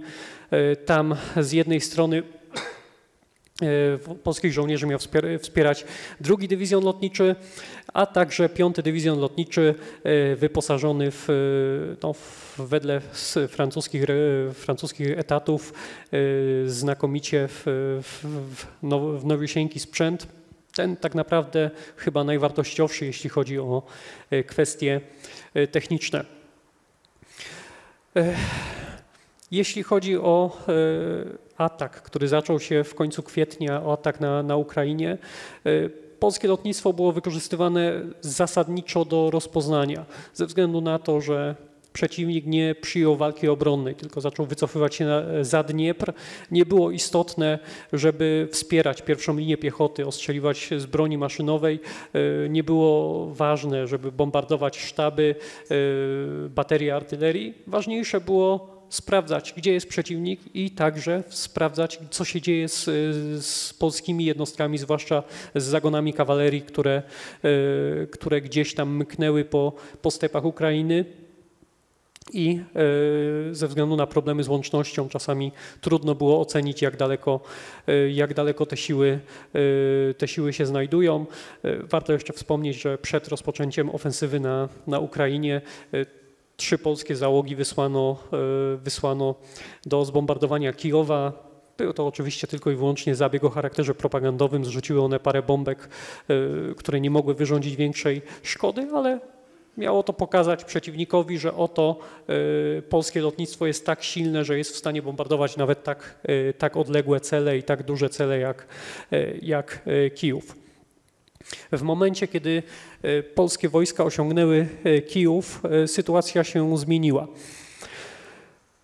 Front Jegorowa cofnął się za Dniepr i ściągał dodatkowe siły i za, zaczął czynić próby okrążenia e, tejże polskiej armii e, generała Rydza Śmigłego, która znalazła się w Kijowie. Plan, e, plan Armii Czerwonej był prosty, okrążyć, okrążyć Kijów, doprowadzić do zniszczenia Armii Rydza Śmigłego, ale żeby to wykonać, przeciw, bolszewicy musieli przerzucić swoje siły przez Dniepr, który no, jest rzeczką dosyć dużych rozmiarów. Dlatego dla e, polskiego lotnictwa narodziło się nowe, bardzo ważne zadanie, czyli przeciwdziałanie takim przeprawom. Z jednej strony obserwowano, gdzie szykuje się przeciwnik do przepraw, tam należało ściągnąć od wody, a z drugiej strony należało zwalczać żeglugę rzeczną, należało zwalczać, e, nękać e, siły znajdujące się znajdujące się na, na poszczególnych brzegach Dniepru, utrudniać im życie jak to, e, jak to tylko możliwe. E, załogi breżetów wyspecjalizowały się w nalotach nękających, które polegały na tym, że w momencie, kiedy jeden samolot kończył bombardowanie i ostrzał z broni maszynowej, kiedy kończyła mu się amunicja, na horyzoncie pojawiała się już kolejna maszyna tego typu, następowała zmiana i znowu tego typu, e, tego typu ataki. Samoloty, w których e, nie było zamontowanych celowników, w związku z tym te bomby, e, celowników ani wyrzutników, także te bomby były rzucane z ręki. Jedna poleciała tu, druga tam. Dopiero z czasem udało się dojść do jako takiej wprawy, ale samoloty musiały za każdym razem wykonywać tę samą taktykę, żeby obserwator mógł mniej więcej na oko wyliczyć, gdzie ta bomba spadnie, co stanowiło spore zagrożenie, bo przeciwnik e, wiedział, jak, e, e, jak samolot polski się zachowa. Obsługi karabinów maszynowych się wstrzeli, wstrzeliwywały to prowadziło do, do strat. Zresztą naloty nękające nękały, męczyły, szarpały nerwy nie tylko przeciwnika, e, męczyły także polskie załogi przy niedoboru pilotów, obserwatorów. E, często zdarzało się, że Tę drugą kabinę obserwatora musiał zajmować e, człowiek, który niekoniecznie się do tego nadawał. Przy kilku jego błędach łatwo było o zestrzelenie polskiej załogi. E, w tym czasie, e, czyli w maju, a także w czerwcu 1920 roku, najbardziej na, e, bardziej na południe, na, na Podolu, szósta armia zaczęła mierzyć się z, z przeciwnikiem nieco innym, czyli z pociągami pancernymi. Tam wielką rolę odgrywały dwie eskadry sformowane w Wielkopolsce, czyli 21. Eskadra Niszczycielska, ta, ta którą na front poprowadził Ludomir Jurajski, a także 15. Eskadra Myśliwska, wyposażona w, głównie w Fokery D7, myśliwce. Wspierana, e, wspierane te dwie eskadry jeszcze przez między innymi piątą eskadrę wywiadowczą, w mniejszym stopniu przez szóstą eskadrę wywiadowczą, która była już mocno e, wyczerpana, wyeksploatowana. E, zwalczały one pociągi pancerne w specyficzny sposób. Najpierw y, dwusilnikowy bombowiec Gota G4 z 21 Eskadry Niszczycielskiej zrzucał ładunek bomb. Y, ważna uwaga, za sterami Goty siedział Ludomir Jurajski, znany skądinąd. Zrzucała bomby za y, pociągiem pancernym, a w momencie, kiedy do prac wchodzili bolszewicy saperzy, byli oni rozpraszani przez samoloty myśliwskie, ewentualnie samoloty dwumiejscowe 5 Eskadry Wywiadowczej. Tak unieruchomiony pociąg y, był stosunkowo łatwym celem dla polskiej piechoty.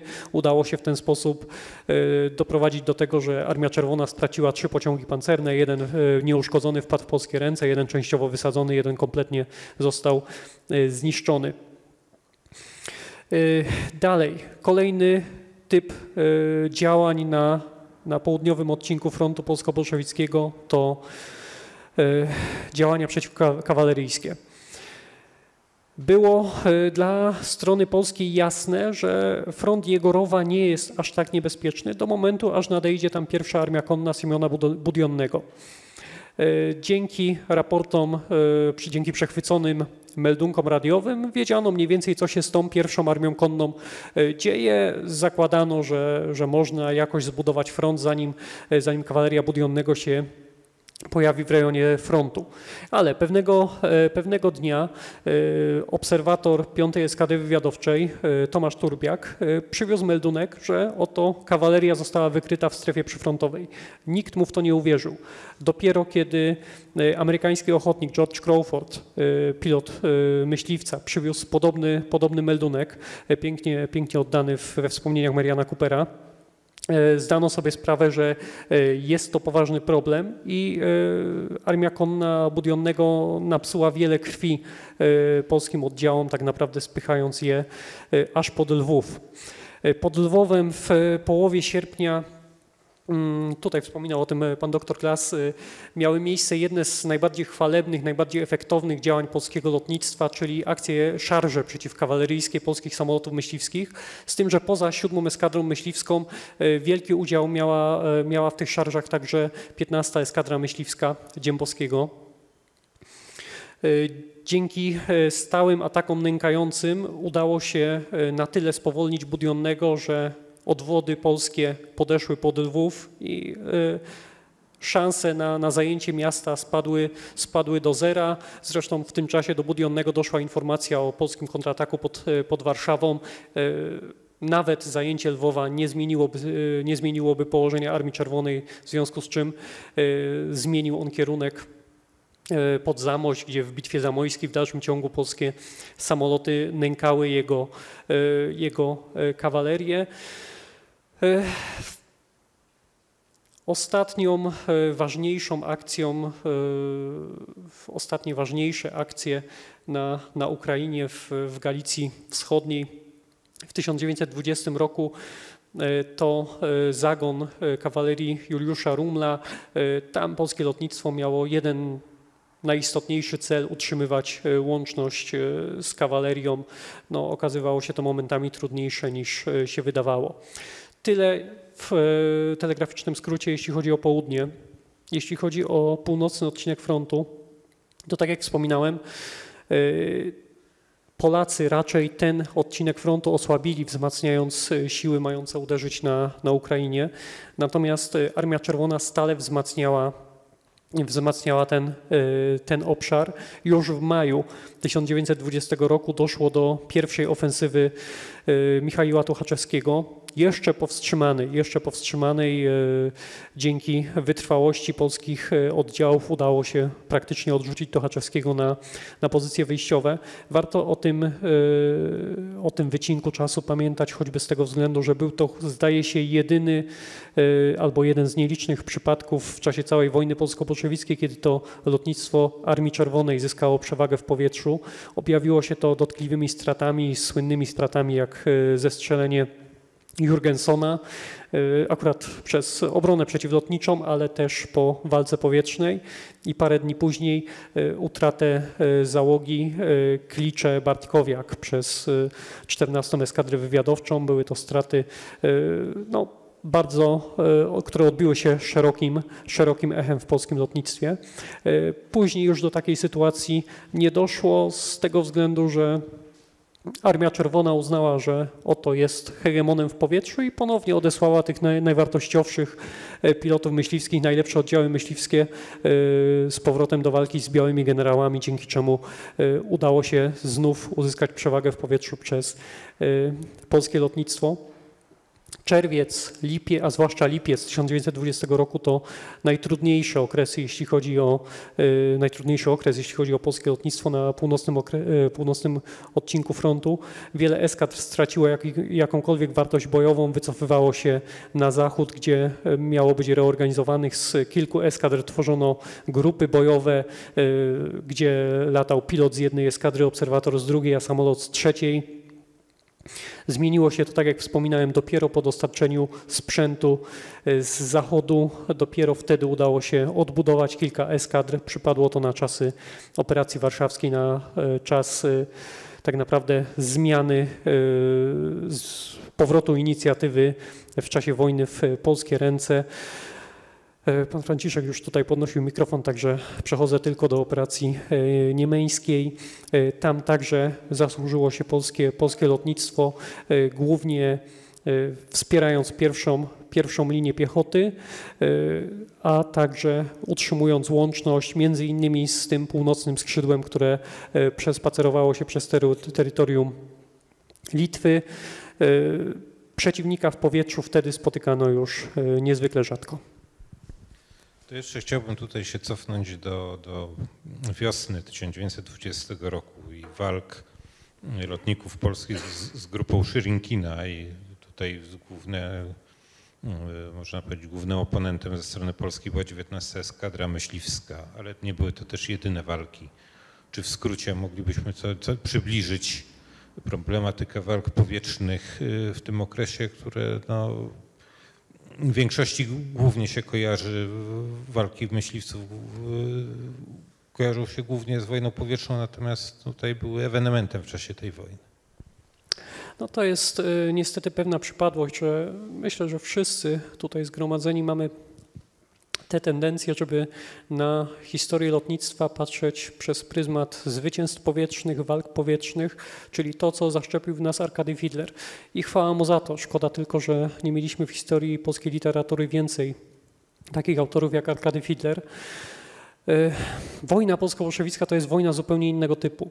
To jest dużo wcześniej, e, dużo bliżej tych początków lotnictwa wojskowego, czyli e, czego przede wszystkim oczekiwano wówczas od lotnictwa rozpoznania, rozpoznania, rozpoznania. To były te najważniejsze, e, najważniejsze zadania stawiane lotnictwu w pierwszym okresie I wojny światowej i także w e, czasie wojny polsko-bolszewickiej, która e, pod względem lotniczym w wielu aspektach przypominała zmagania powietrzne pierwszych miesięcy wojny polsko-bolszewickiej. Oczywiście mamy przykłady walk powietrznych, ale one są bardzo, e, bardzo nieliczne. E, O ile mi wiadomo, nie mamy asa myśliwskiego polskiego wyłącznie wojny polsko-bolszewickiej. E, Stefan Pawlikowski spalił dwa balony obserwacyjne na uwięzi. Norwid Kudło zestrzelił chyba jeden samolot po drodze. Uznaje się, że no Mroczkowski przyznaje się, jak to on do, do paru zwycięstw, ale raczej są one kwestionowane. Gutmeier mógł coś zestrzelić, ale to były e, pojedyncze przypadki. E, W polskim lotnictwie jasne, mieliśmy e, siódmą eskadrę myśliwską, mieliśmy e, 15 eskadrę myśliwską, żadna z nich nie miała szczęścia spotkać przeciwnika w powietrzu. To daje sporo do myślenia. Do tego mieliśmy 13, e, 13 eskadrę myśliwską, wcześniejszą drugą wielkopolską eskadrę lotniczą i e, 19 eskadrę myśliwską na francuskich spadach, e, szczątkową eskadrę, bo e, eskadrę, w której brakowało mechaników, było niewielu pilotów, było niewiele samolotów, e, musiała ona zostać doklejona do 14 es- eskadry wywiadowczej, żeby w jakiś sposób, w jakiś sposób funkcjonować. No i właśnie najczęściej ta 19 eskadra myśliwska, ta szczątkowa eskadra, e, tak słabo wyposażona sprzętowo i personalnie, musiała e, borykać się, z, musiała e, stawać do walki z, ze zdecydowanie liczniejszym lotnictwem Armii Czerwonej, ale lotnictwem, które jakościowo stało niżej. E, Może nie tyle ze względu na personel, ile ze, względu na sprzęt. No, Rosja radziecka także miała spory problem z, samolotami. Były tam w tych eskadrach, w tych oddziałach myśliwskich Szyrynkina głównie były to Newporty, także jeśli polscy lotnicy dobrze przewidzieli, co, co stanie się w powietrzu, to wystarczyło e, dać pełny gaz i, i tym New- Newportom udawało się zazwyczaj uciec. E, Wielokrotnie dochodziło do, do starć w powietrzu. e, Z, z, tak jak e, wspominałem w, maju, w czasie nalotu odwet, odwetowego na, e, na lotnisko Armii Czerwonej, e, trzy, e, trzy bolszewickie myśliwce przechwyciły polską formację wzięły sobie za punkt honoru e, zestrzelić, e, zestrzelić którykolwiek z, samolotów. Nie wystarczyło im samo przepędzenie polskich maszyn. E, Załoga Jach i pułkownik Anders, który poleciał z nim jako, jako obserwator, odpędziła sześć ataków nieprzyjacielskich. No ale Kawałek dalej polska formacja została wzięta na cel przez artylerię przeciwlotniczą i no, czy też po prostu artylerię, która strzelała w powietrze, no i skończyło się ze strzeleniem samolotu Jurgensona, dowódcy 12 Eskadry Wywiadowczej. Parę dni później e, zestrzelenie e, Bartkowiaka i Kliczego na Halberstadcie CL-2. E, Tutaj zes- zestrzelenie to zaliczono Szyrynkinowi. E, Co dalej? E, Zdarzały się, e, zdarzały się pojedynki w powietrzu Stefana Pawlikowskiego z, z Pietrowem z, z grupy Szyrynkina. No akurat to, to starcie no, zakończyło się niefortunnie dla Pawlikowskiego, ponieważ przestrzelono mu przewód paliwowy i musiał lądować po polskiej stronie frontu.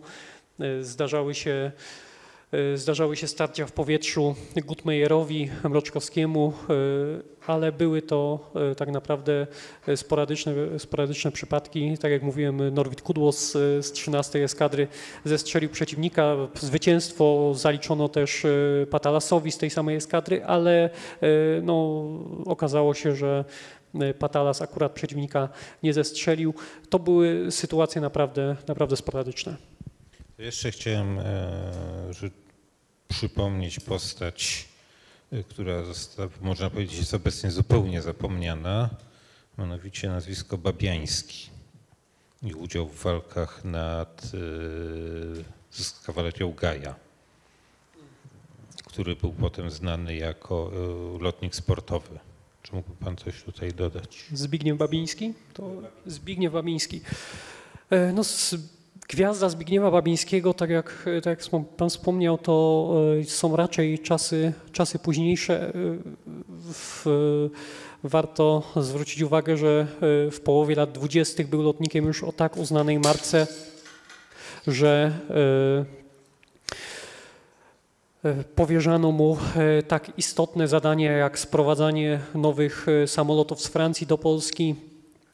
Brał udział w, teraz nie wiem czy w obydwu, ale na pewno w e, jednym z dwóch e, lotów okrężnych po, po Polsce, także był to lotnik o e, uznanej marce, ale jeśli chodzi o, o te zmagania w powietrzu, no to tutaj raczej w 1920 roku to tutaj raczej niewiele, niewiele mogę powiedzieć, ale lotów tych musiał wykonać minimum 30 lotów bojowych, ponieważ odznakę, polową odznakę pilota mu przyznano.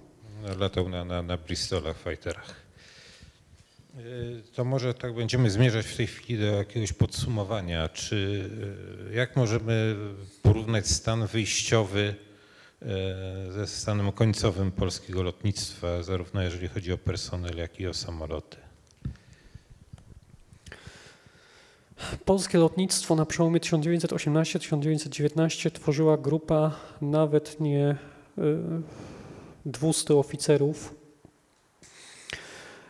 Był to zlepek z kilku, y, kilku różnych elementów, te, który dopiero musiał się dotrzeć, który y, mimo, że tworzony w różnych częściach kraju, starał się ze sobą współdziałać, starał się ze sobą współpracować. Y, Najlepszy przykład tego to e, lotnictwo wielkopolskie, które wysyłało samoloty zarówno do Warszawy, jak i do Galicji Wschodniej, które e, wysyłało eskadry e, do walki z Ukraińcami, do walki z bolszewikami. E, W drugą stronę mamy e, grupę oficerów, e, dzięki którym, grupę oficerów z, głównie z e, dawnej armii rosyjskiej, Polaków, dzięki którym było możliwe stworzenie struktur tego lotnictwa wielkopolskiego, a także grupę oficerów aeronautów z dawnej armii rosyjskiej, która tak naprawdę utworzyła w Wielkopolsce wojska aeronautyczne. E, W 1919 roku to lotnictwo było w swoim okresie początkowym i tak naprawdę e, borykało się z wszelkimi trudnościami wieku dziecięcego.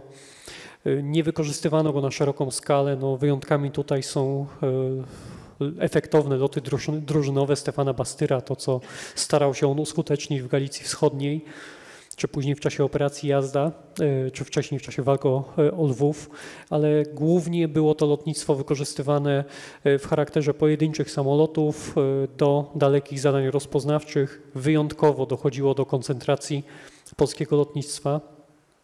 W ciągu tego 1919 roku, dzięki samolotom zdobytym w hali Cepelina, dzięki samolotom, które przybyły do Polski z armią Hallera, udało się to lotnictwo na tyle wzmocnić, że w czasie ofensywy na Ukrainie stanowiło już ono pewną realną siłę. Realną siłę niestety bez rezerw. Także w momencie, gdy te samoloty się wyeksploatowały, nie było ich czym zastąpić. Kolejna rzecz, personel. Y, Tutaj mamy początkowo weteranów y, państw zaborczych, lotnictwa państw zaborczych, którzy stopniowo byli w- zasilani y, absolwentami polskich szkół lotniczych.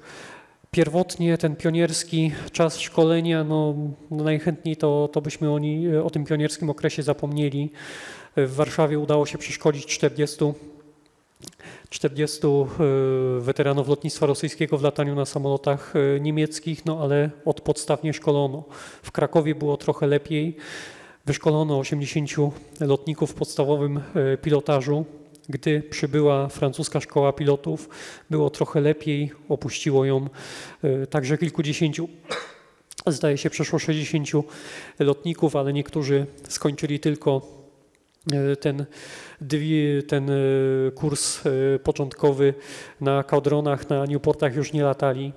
W Ławicy pod Poznaniem udało się przeszkolić y, 50 pilotów do końca 1919 roku.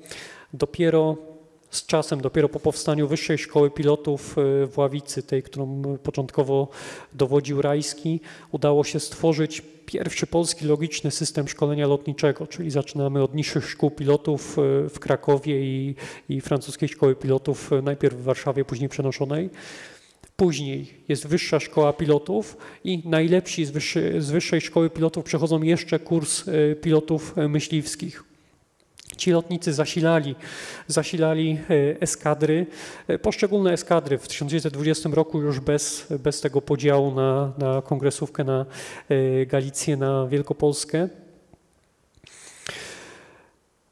Ale do końca wojny polsko-bolszewickiej stanowiska najważniejsze w polskim lotnictwie nadal pełnili weterani polskiego, weterani armii e, zaborczych, ewentualnie e, lotnictwa e, francuskiego, z tym, że już bogatsi o te doświadczenia lat 1919-1920.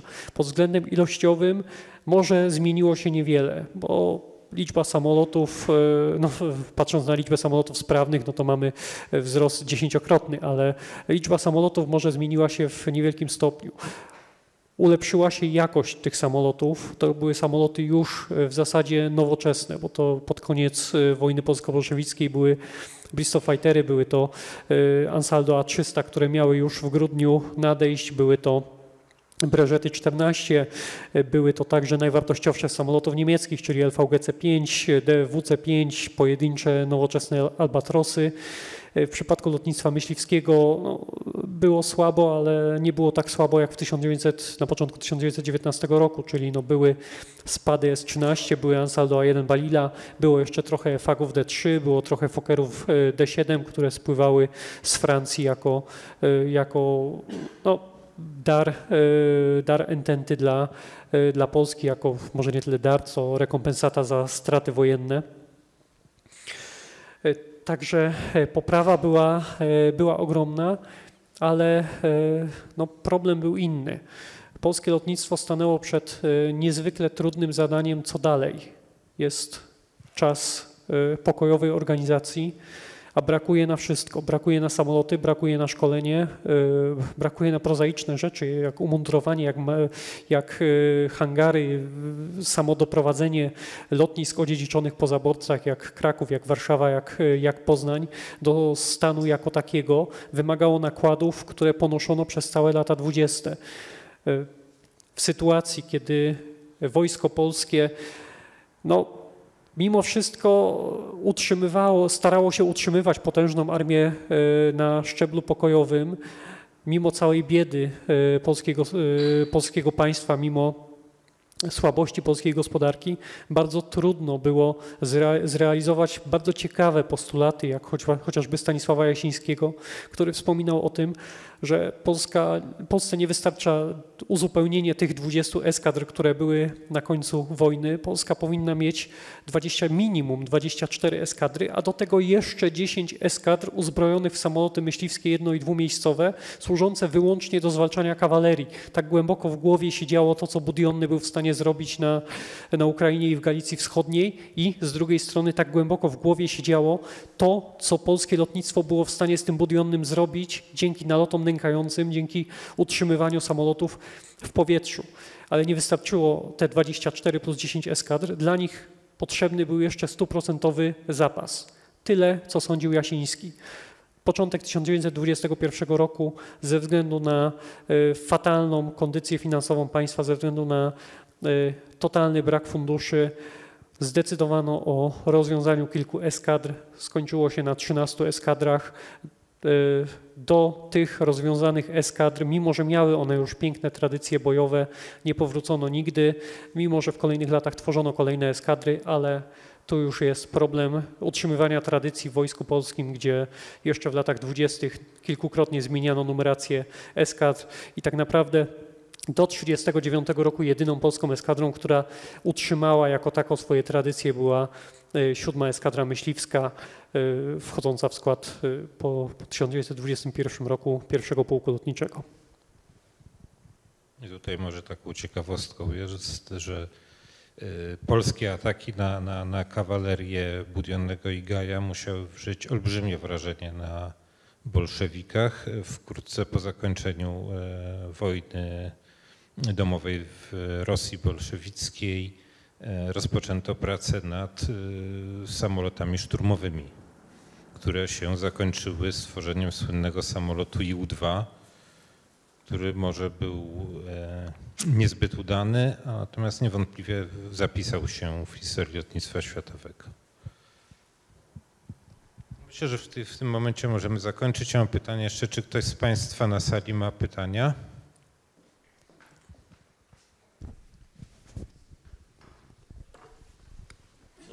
Znaczy, Mając Dzińszewski, jestem sekretarzem y, Komisji Historycznej PPS-u i sekretarzem władz naczelnych PPS-u.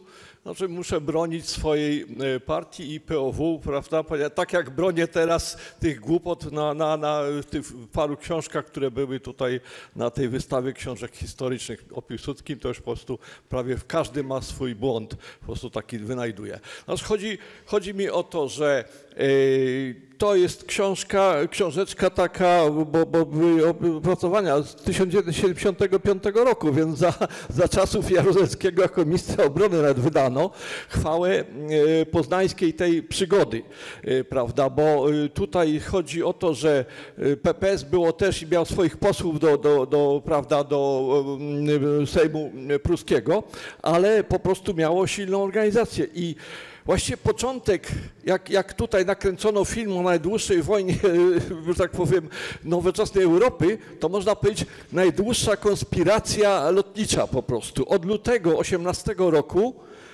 systematycznie, w tym pod, podporucznik Pnieski, po prostu rozpatrywało tą rzecz. I to, że to się udało, to dzięki po prostu tym, y, prawda, tej pięknej konspiracji parudziesięciu ludzi. A raptem przecież tam było chyba bodajże czterech pilotów i dwóch obserwatorów y, tego. Natomiast, natomiast prawda, znaczącą, si znaczącą rzecz wkład to było przesłanie w styczniu prawda, 1919 roku wyremontowanych samolotów z Ławicy, kiedy właściwie lotnisko, lotnictwo łącznie z obsługą i tak dalej, i tak dalej, prawda, do Warszawy.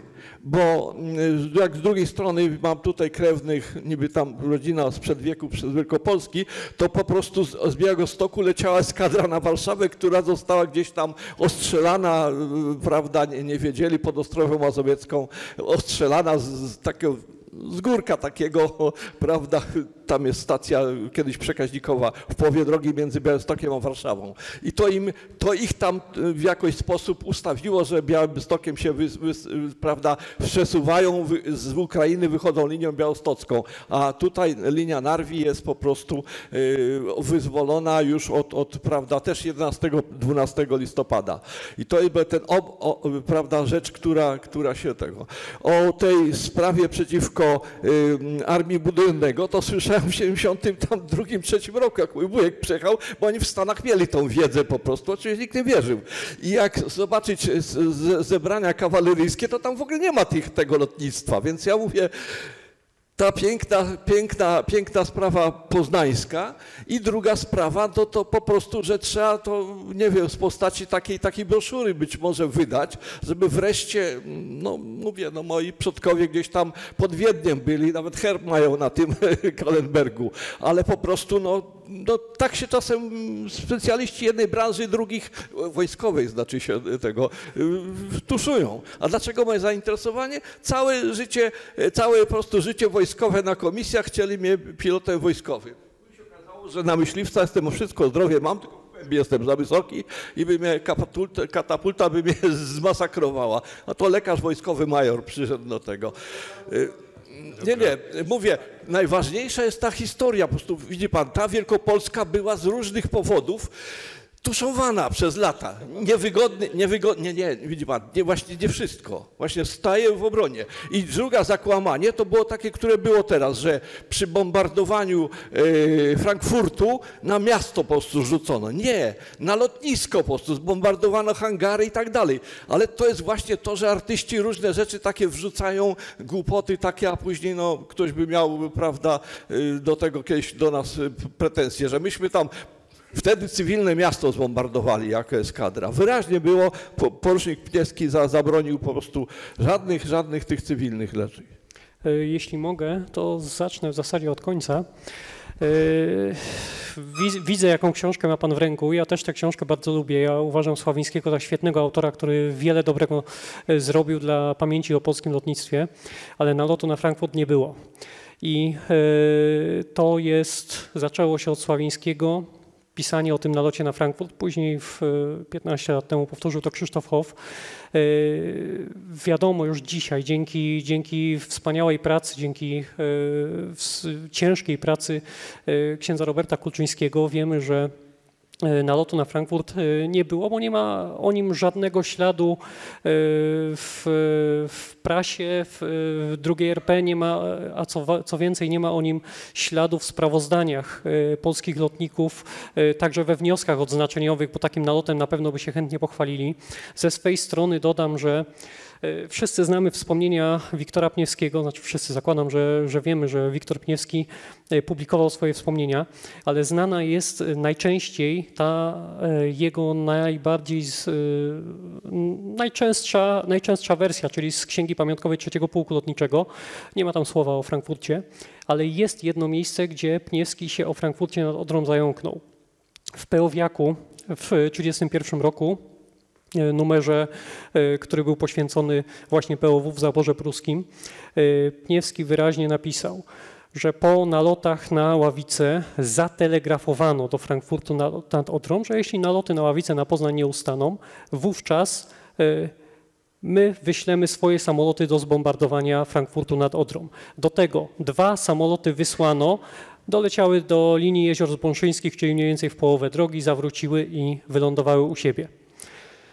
E, Tak samo e, Marek Rezler to jest e, jeden z największych autorytetów, jeśli chodzi o powstanie wielkopolskie. Nie dawało mu to spokoju. Poprosił kogoś o zrobienie prasówki we Frankfurcie nad Odrą, czy jest jakikolwiek ślad na, na temat polskiego bombardowania. Nie ma nic. Więc Frankfurt nad Odrą to jest, to jest mit i nawet fajnie, że ta sprawa wyniknęła, bo to, to właśnie w takim celu są te, są te panele. Nalotu nie było. e, To ja nie wątpię, że w latach 70. przy wszechobecnej antyniemieckości to zostało ładnie podchwycone. E, Trudniej mi zrozumieć, dlaczego w tym roku e, to ten nalot jest podchwytywany, nie wiem, czy tak samo jak w latach 70., bo jestem za młody, ale jest niezwykle często podnoszony, mimo że tak naprawdę niewiele to ma wspólnego z prawdą, no ale taka jest potęga internetu. Mm, Kolejna rzecz. Wspominał Pan o konspiracji e, na, lotnisko, na lotnisku Ławica. Jasne, POW zaboru pruskiego no, e, spenetrowało to e, doszczętnie, z tym, że wcześniej przed Pniewskim robił to Stanisław Dąbrowski, też z POW. Y, Także działał tam Zygmunt Rosada, późniejszy, późniejszy lotnik. Wydaje mi się, że on już z POW nie miał tyle wspólnego. Y, Pniewski to dopiero w połowie 1918 roku, po tym jak został kontuzjowany, jak sam pisze, na, na froncie, y, wysłano go do Poznania celem podleczenia. Na front już nie wrócił. Zajął się tworzeniem konspiracji na lotnisku Ławica.